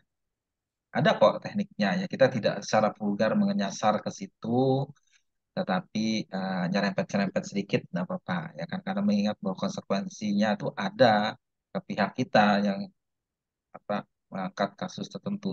Karena penelitian apa kita melakukan penelitian ini dalam rangka kita melatih ya, pola berpikir ya. Kita tidak bermaksud untuk membongkar tertentu karena bukan tugas kita itu ada ada pihak tertentu yang bertugas untuk itu ya kan. Uh, walaupun ada terkait juga kita apa suka nggak suka akan menyerempet juga kalau ada mau meneliti tentang itu tapi kita coba siasatilah seperti apa enaknya ya kan karena kami tahu juga kalau itu ya diangkat apalagi ada pihak yang merasa di ini kan repot. Ya saya bisa bayangkan itu. Uh, dulu pernah ada ya uh, saya pernah menguji bukan saya pembimbingnya waktu itu. Jadi si pembimbingnya ini tidak mau mengungkapkan itu apa adanya gitu. Wah, takut dia katanya ini. Saya tidak pernah pendapat itu saya tidak setuju itu ditutup-tutupi dalam, dalam penelitian ilmiah. Ya memang begitulah keadaannya. Saya pikir nggak rawan-rawan amat juga ya. Uh, saya tidak setuju di titik itu bahwa dia menyembunyi, menyembunyikan fakta ya kan. Uh, itu sama aja dengan tidak jujur sebenarnya ya. Ya faktanya begitu ya begitu ya. Apa selama ini tulisan ilmiah dan kita tidak buka ke pihak lain tidak masalah. Ingat penelitian ilmiah itu ada yang kita keep tidak dibuka publik bisa. Ya.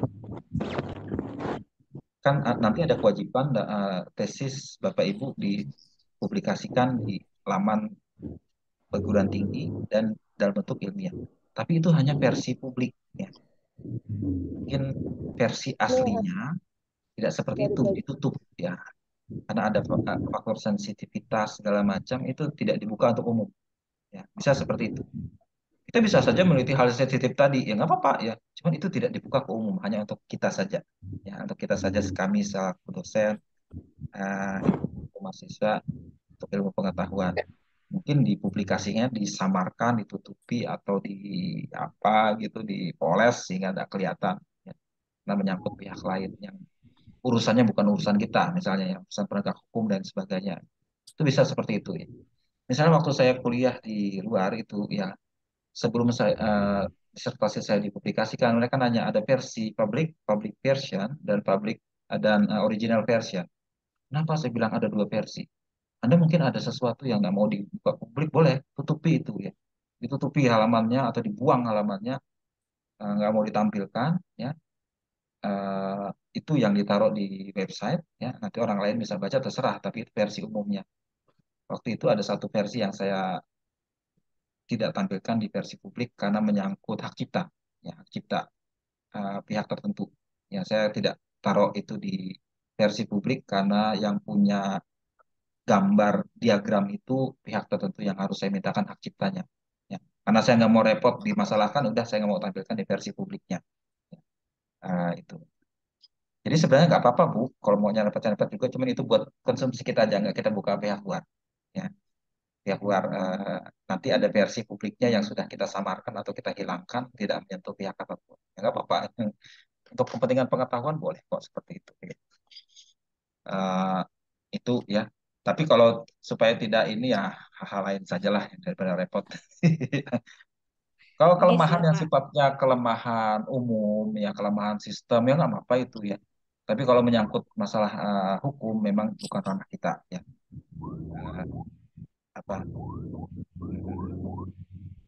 Misalnya membongkar terjadinya uh, korupsi atau terjadinya kecurangan atau fraud ya. Hmm, itu kan tugas yang lain ya kan. Kita mungkin bisa melakukan indikasinya saja ya. Indikasinya saja seperti apa. Misalnya peneliti di bidang akuntansi itu bisa ada teknik tertentu dia membongkar fraud. Ya. Tapi bukan tugas, tugas dia, dia cuma mengindikasikan saja ya uh, apa ini perusahaan ini sepertinya nggak beres laporan keuangan karena tidak janggal gitu. Ada tekniknya untuk mengetahui janggal atau tidaknya itu. Tapi dia tidak melaporkan ke pihak berwajib ya kan. Uh, tugas dia sebagai peneliti ya paling cuma ngasih tahu investor jangan beli perusahaan ini nih dia kayaknya banyak main-main manipulasi data di situ ya kan dari sisi investor mungkin dia nggak mau beli sahamnya atau bagaimana uh, kalau toh mau laporkan kita laporkan secara anonim saja ya. Boleh? Ya, umumnya kalau di Amerika ada orang tertentu yang memang tugasnya membongkar. Membongkar kejadian seperti itu ya. Uh, dia buka ke umum keanehan tertentu. Nanti biar si pihak penegak hukum yang mengendus dia punya fakta begini, hasilnya kok mencurigakan. Dia tidak menuduh, cuma menyajikan datanya saja. Hanya pihak penegak hukum yang mengendus, menyelusuri, ya ternyata betul terjadi curang atau fraud. Oke. Kira seperti itu. Oke, ini ada pertanyaan secara tertulis ya dari Pak Bayu. Pak, kesulitan saya dalam menulis mungkin sama seperti kawan-kawan yang berada di pemerintahan. Kebetulan saya bagi kasih Bapeda ada hal yang sebenarnya menarik untuk dibahas terkait penanggulangan kemiskinan. Namun hal sensitif yang berhubungan proses perencanaan, penganggaran, bantuan, kepentingan bahkan eksekutif sendiri. Ya, harus, ya sama nih hal sensitif ya. Oke, ada hal sensitif tertentu. Ya tadi itu ya boleh saja diungkapkan, tapi untuk kepentingan kita sendiri. Nah, kita tidak buka ke pihak lain. Boleh kok.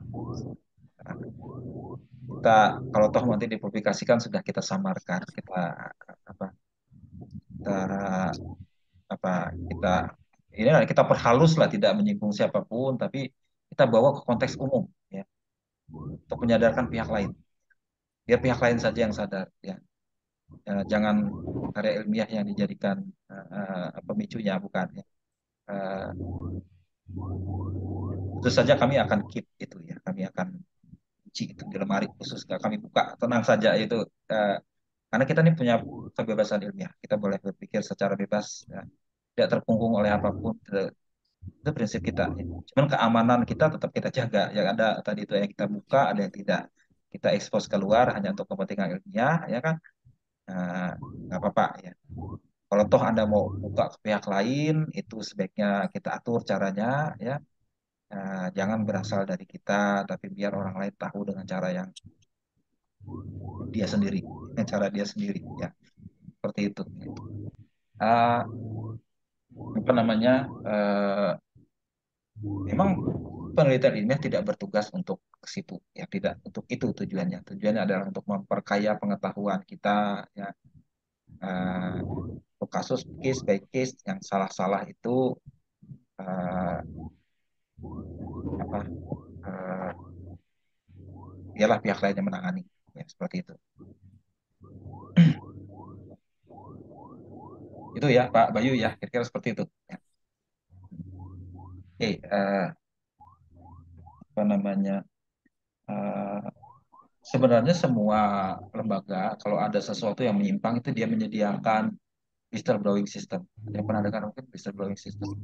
Seperti kita mengadu, kita boleh mengirim surat kaleng. Kalau ada sesuatu yang menyimpang, ya kan uh, di banyak perusahaan, instansi pemerintah sudah ada whistleblowing system. Kita ngirim surat kaleng boleh tanpa menyebutkan nama kita. Tapi pihak sana akan menelusuri keanehan tertentu harus disediakan salurannya sekolah melaporkan sesuatu kejanggalan, keanehan, penyalahgunaan dan sebagainya. Kita tidak salah. Ya. Dan kita tidak menyebutkan identitas kita boleh saja, ya, surat kaleng istilahnya. Itu disediakan. Tapi kalau nah, hasil penelitian terus dikirimkan ke pihak tertentu, ya, ya jangan juga. Di, di anu aja, dipakai cara lain saja. Nanti kampus kita terbawa-bawa lagi repot juga. Iya. Oke seperti itu ya. Uh, itu ya bapak ibu ya. Jadi uh, terbiasa anda mempunyai pendapat sendiri. Pendapat sendiri harus berdasarkan fakta data dan hasil pemikiran yang kira-kira orisinal. Itu yang harus diasah. Harus diasah. Uh, uh, terus menerus ya uh, itu juga harus berusaha kita tuangkan dalam bentuk tulisan. Jangan ada yang kurang ya. Uh, sebisa mungkin meyakinkan ya, itu amat berguna jadi penelitian ilmiah yang umumnya disukai adalah dia punya pesan tertentu yang benar-benar kuat dia mau sampaikan ya bukan hanya sekedar main apa itu kalau Pak Faris Wanjudi suka mengatakan latihan statistik ya. Ini masukin ke sini hasilnya signifikan. So what? Sudah selesai itu kan sama aja melakukan tugas statistik sebenarnya. Tapi kan penelitian bukan seperti itu. Statistik itu hanya alat bantu kita mengambil keputusan, menilai sesuatu. Bukan di situ ya. Nilai penelitian yang paling utama adalah bagaimana kita mengambil uh, implikasi dari yang kita teliti. Apa implikasinya buat masyarakat? Apa implikasinya buat uh, ini akademis ya, pengetahuan kita dan sebagainya yang harus uh, kita tonjolkan. Uh, sayangnya penelitian yang ada selama ini terkubur meributkan yang penelitian yang kuantitatif ya uh, terkubur di uji statistik. Melupakan sama sekali esensi sebenarnya penelitian. Apa yang mau dibuktikan? Apa yang mau dibuktikan?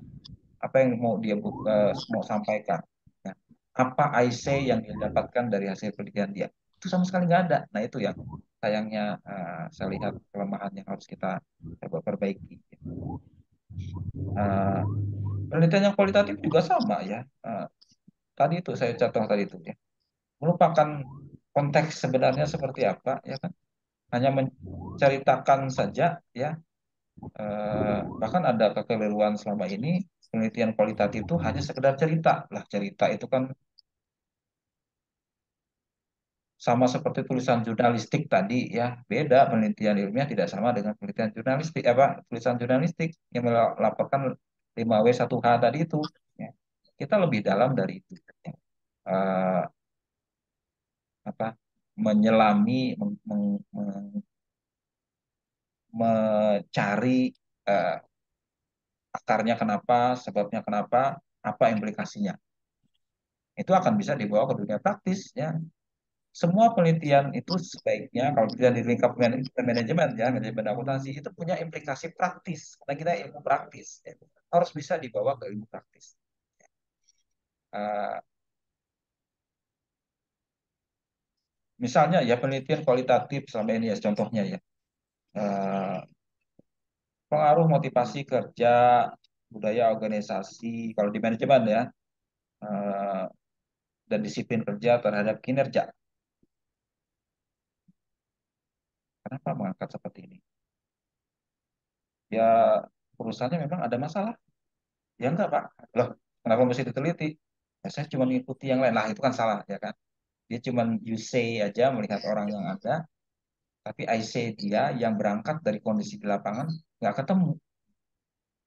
Selanjutnya, begitu hasil didapatkan, semua yang teliti hasilnya signifikan. Dengan demikian, maka mendukung hipotesis yang dilakukan penelitian. Selesai. Nah, untuk organisasi apa perlunya? Nggak dibahas di situ, ya kan? Makanya bolak-balik. Terus apa arti penting penelitian Anda ini, ya kan? Oke, secara statistik sudah signifikan semua. Terus apa artinya bagi perusahaan? Apa yang mau Anda sarankan? Hmm, nggak bisa jawab. Nah, itu kan keliru ya. Jadi itu umumnya ya, makanya saya sarankan coba datanya itu digeluti ya. Feel the data, feeling the data ya. Itu banyak bercerita banyak. Data yang Anda dapatkan itu banyak bercerita banyak. Misalnya, coba buat statistik deskriptifnya. Ya. Ada poin-poin tertentu yang lemah di situ. Ini kalau kuesionernya benar ya, kalau penelitian kuesioner. Itu berarti ada kekurangan.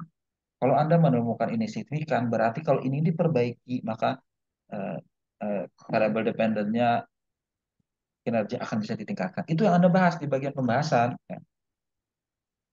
Dan Anda harus main betul di IC-nya. Saya mau mengatakan ini betul, setuju seperti ini, hasil saya seperti ini. Itu harus bisa dijelaskan di tahap pembahasan.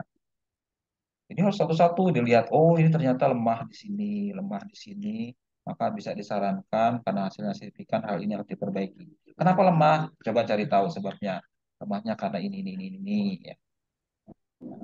Ada waktu itu penelitian semacam itu dia meneliti tentang kepemimpinan. Ternyata kepemimpinannya buruk. Anda berani bilang ke atasan pimpinan Anda buruk? Hmm, senyum-senyum aja dia. ya. Karena hasil penelitian Anda loh bilang ini. Ya. Dari hasil itu, kebanyakan responden Anda menyatakan pemimpin Anda, pemimpin kantor Anda tidak baik kondisinya. Garuk-garuk kepala dia. Memang ada apa dengan pimpinan Anda, saya bilang. Enggak mau cerita, nah, itu harus Anda terdalam. Ya mungkin dia bukan pemimpin yang baik, tidak ngasih teladan yang baik, kurang mengasih support support yang baik, ya kan? Itu coba Anda eksplor. Tapi ini masalah sensitif, Pak. Saya nggak enak sama pimpinan saya. Nggak apa-apa, ini cuma di sini saja saya bilang kan gitu. Untuk kekuliahan kita di sini, pengetahuan kita di sini. Nanti Anda bilang pelan-pelan ke atasan. Ya. Uh, apa atau tunggu saja beberapa waktu kemudian Anda dipindah. Tapi kita punya pengetahuan bahwa ya itulah contoh pemimpin yang jelek, ya kan? Uh, apa, uh, terbukti dia tidak memberikan efek yang bagus terhadap anak buah sehingga kinerja anak buah nggak bagus seperti itu. Nah, itu sensitif juga, tapi ya tadi kita keep saja dia, toh dia nggak ngasih uh, tesis dia ke atasan dia. Ya. Kalaupun atasan dia nanya, nggak perlu dia harus menunjukkan tesisnya kan. Gimana hasil tesisnya? Oke, kalau bapak baik-baik aja. Yang penting saya lulus. Padahal sebenarnya ada masalah di atasan dia. Nah, itu. Uh, itu ya pernah seperti itu dulu kasusnya.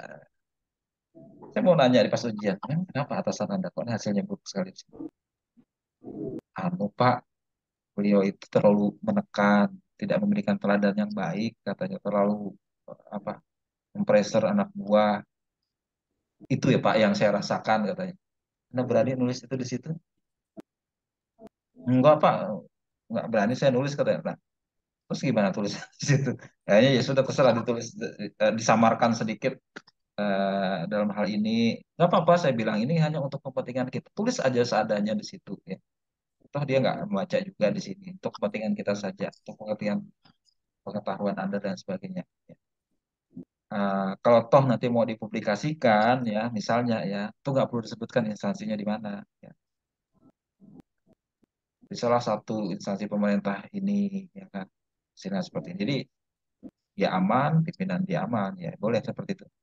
Penelitian lima publikasi nggak harus menyebutkan nama instansinya dengan jelas. Ya, ada dipersilahkan kalau tidak mau menyebutkannya. Ya.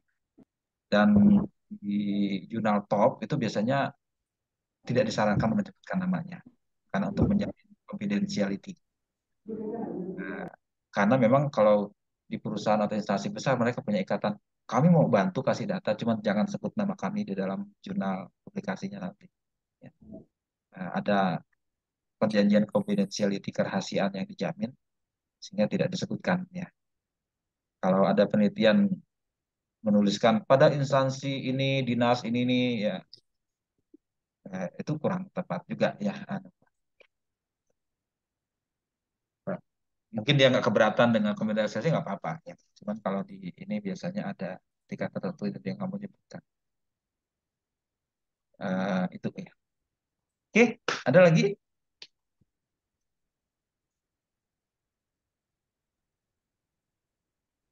Sebelum kita tutup, ada? Eh, gini Pak, eh, saya kan kebetulan di di SDM Pak ya. Hmm. Di SDM ini kan kebetulan minatnya agak banyak Pak ya. Mungkin di tahun-tahun sebelumnya juga pasti banyak gitu.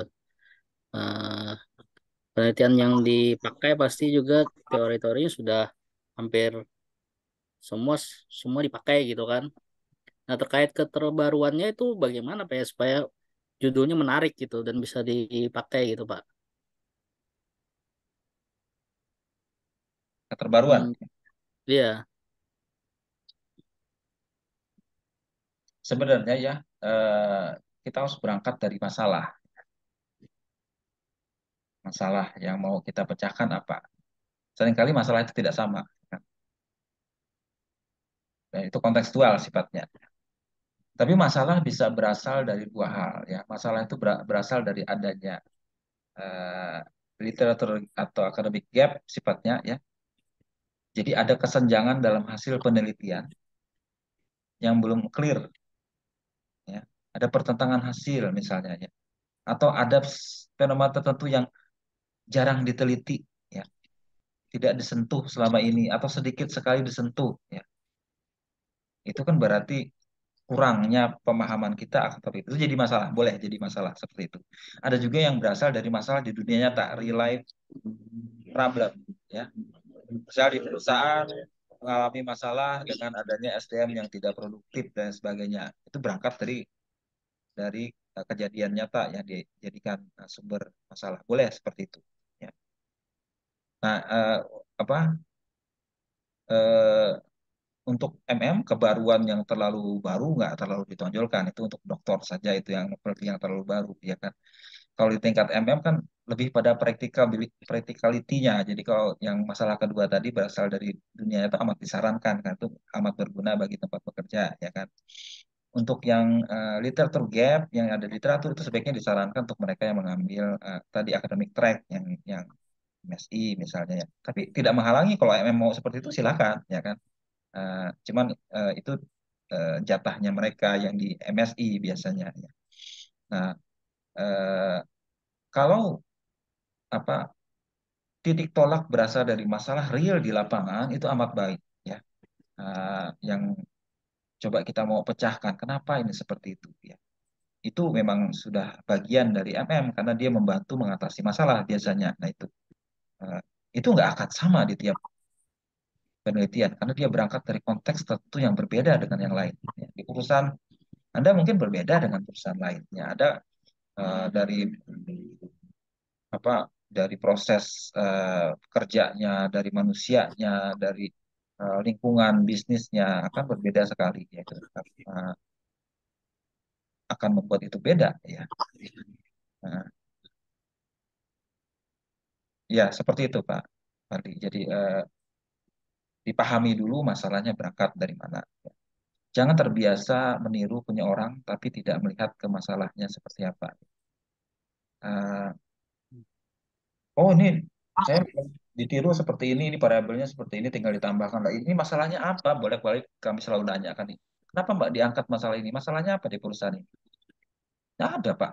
Nah, uh, saya hanya meniru. Nah, ini kan bukan berarti seperti itu, tidak tidak orisinil sifatnya dia hanya meniru punya orang lain, ya kan? Dibawa di konteks yang berbeda di perusahaan lain tempat dia kerja. Tapi sebenarnya di situ nggak masalah untuk itu diteliti. Itu ya. Jadi uh, harus ada masalah tertentu yang mau dipecahkan, mau di apa? Dicoba cari solusinya, ya kan? Uh, bisa dalam bentuk tadi itu yang waktu saya di tahap pertama tadi bisa dalam bentuk problem solving ya uh, mengambil keputusan, uh, melakukan evaluasi atau melakukan uh, apa problem diagnosis. Bisa semacam itu. Hmm. Kira-kira seperti itu Pak. Jadi uh, apa? Uh, Berarti tetap uh, tadi mendengarkan dulu ya Pak ya. DC-nya apa gitu ya? Ya. Hmm. ya. UC tadi itu tidak hanya dari jurnal ya, dari lihat jurnal dari penelitian ilmiah, tapi UC itu berangkat dari keadaan di lapangan. Ya, ya, ya, ya. Ya, berangkat di lapangan seperti apa? Kalau kita mau hmm. meneliti secara praktis. Ya. Hmm, oke Pak. Oke. Ya. ya Pak masih. Yang jadi masalah sering kali kalau penelitian itu data sekunder yang di keuangan misalnya ya. Nah, ini yang kadang-kadang mekanistik sekali mengerjakannya tanpa tahu sebabnya kenapa. Ya, misalnya ya pengaruh rasio keuangan terhadap harga saham. Ya memang apa? Ada apa masalahnya? Boleh balik nanya kan. Anda mau meneliti apanya? Ya. Ada masalahkah di situ? Dia hanya sekedar main utak-utik angka keuangan, masukkan ke regresi, hasilnya signifikan selesai. Ya bukan di situ penelitian itu hanya latihan statistik sebenarnya ya. Nah, harus dicari sumber masalahnya itu apa? Apa kenapa harus meneliti hal ini? boleh saja di semacam itu. Mungkin dia mau meneliti tentang uh, tadi contoh yang saya terangkan tadi ya. Kenapa suatu bank misalnya lebih profit dari yang lain? Nah, kalau kebetulan tadi dia sebutkan kan itu penting karena bank itu kalau rugi itu berakibat buruk dari ekonomi keseluruhan. Bank yang rugi akan menyebabkan uh, nasabah nggak aman nyimpan uang di situ. Ekonomi akan guncang kalau orang uh, menarik uangnya kredit macet dan sebagainya ekonomi akan guncang. Itu kenapa penting diteliti katanya. Nah, itu kan punya arti penting. Karena membuat supaya bank itu aman, dia harus untung secara stabil tiap tahun. Nah, eh, itu ada ada ada gunanya, ada maksudnya. Nah, tidak hanya sekedar mekanistis memasukkan angka-angka, masukin statistik selesai, bukan, bukan seperti itu. Ada fenomena tertentu yang harus mau kita angkat, yang mau kita gali, ya, yang mau kita ketahui dan terutama sekali memberikan kontribusi ya, eh, bagi pengambil keputusan, pembuat kebijakan maupun uh, apa pihak-pihak lain yang berkepentingan seperti itu. Oke, okay, uh, eh, sudah setengah sebelas. Oke, okay. uh, ini ya kita tidak ada tes khusus untuk uh, matrikulasi ini ya. Cuma nanti saya akan uh, saya akan menyebarkan uh, kuesioner ke Bapak Ibu sekalian. Ya kuesionernya kuesioner sederhana saja ya sebagai uh, input ya. Terus saya juga pengen tahu gambaran umum ya tentang kesulitan Bapak Ibu sekalian dalam menulis seperti apa. Nanti akan saya buat uh, kuesioner pertanyaannya ya. Uh, apa kira-kira yang selanjutnya yang kami mau bisa bantu prosesnya di tahap selanjutnya ya coba kami coba jaring ya kan walaupun kami tahu kita akan mengadakan workshop dan workshopnya harus seperti apa itu harus kami ketahui juga berangkat dari kondisi kesulitan Bapak Ibu sekalian yang harus kami bisa tutupi nantinya ya. Jadi eh, mohon ditunggu nanti akan kita buatkan semacam survei eh, dari saya selaku dosen eh, yang mengisi topik ini. Nanti saya berikan input kepada pihak prodi untuk dapat ditindaklanjuti tentang dengan melakukan uh, workshop tertentu di kesempatan berikutnya ya. Itu yang uh, terutama yang mau ingin saya dapatkan dari ini ya. Nanti proses ini akan terus bergulir ya kan? Uh, proses penilaian itu saya di tahap atau kemajuan atau ke apa uh, apa namanya uh, evaluasinya akan ada di tahap-tahap selanjutnya ini tahap pembuka saja saya pikir ini ya. tahap pembuka Eh, memberikan fondasi dasar sesuai dengan maksud, maksud matrikulasi dan juga untuk dimaksi untuk tambahan workshop yang kita adakan minggu dua minggu yang lalu ini adalah sebagai tambahan untuk yang diungkapkan di situ kita akan tindak lanjuti dengan melakukan uh, uh, langkah selanjutnya yaitu membuat proposal. Yang di MM silahkan uh, mulai memikirkan uh, seperti apa ya topik yang mau diangkat ya kan mereka yang di SA yang masih di semester 1 mempersiapkan diri juga ya dengan membaca banyak uh, literatur topik tertentu yang mau bisa diangkat. Jadi pada intinya bermuara pada melatih Anda sekalian berpikir secara saintifik ya dunia tapi dalam konteks praktis di dunia manajemen. Oke, ada lagi sebelum saya tutup?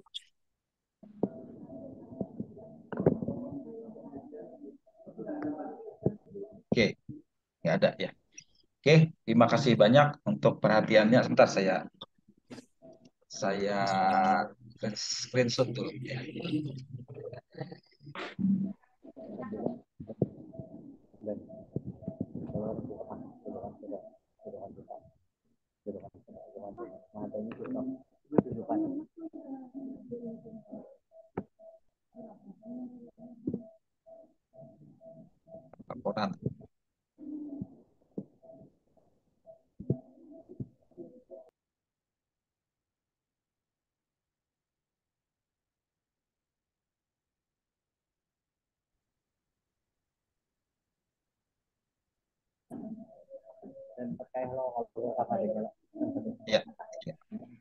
Oke, uh, kita akhiri ya. Terima kasih banyak untuk perhatiannya. Sampai ketemu di lain kesempatan di minggu-minggu berikutnya kita mulai kuliah.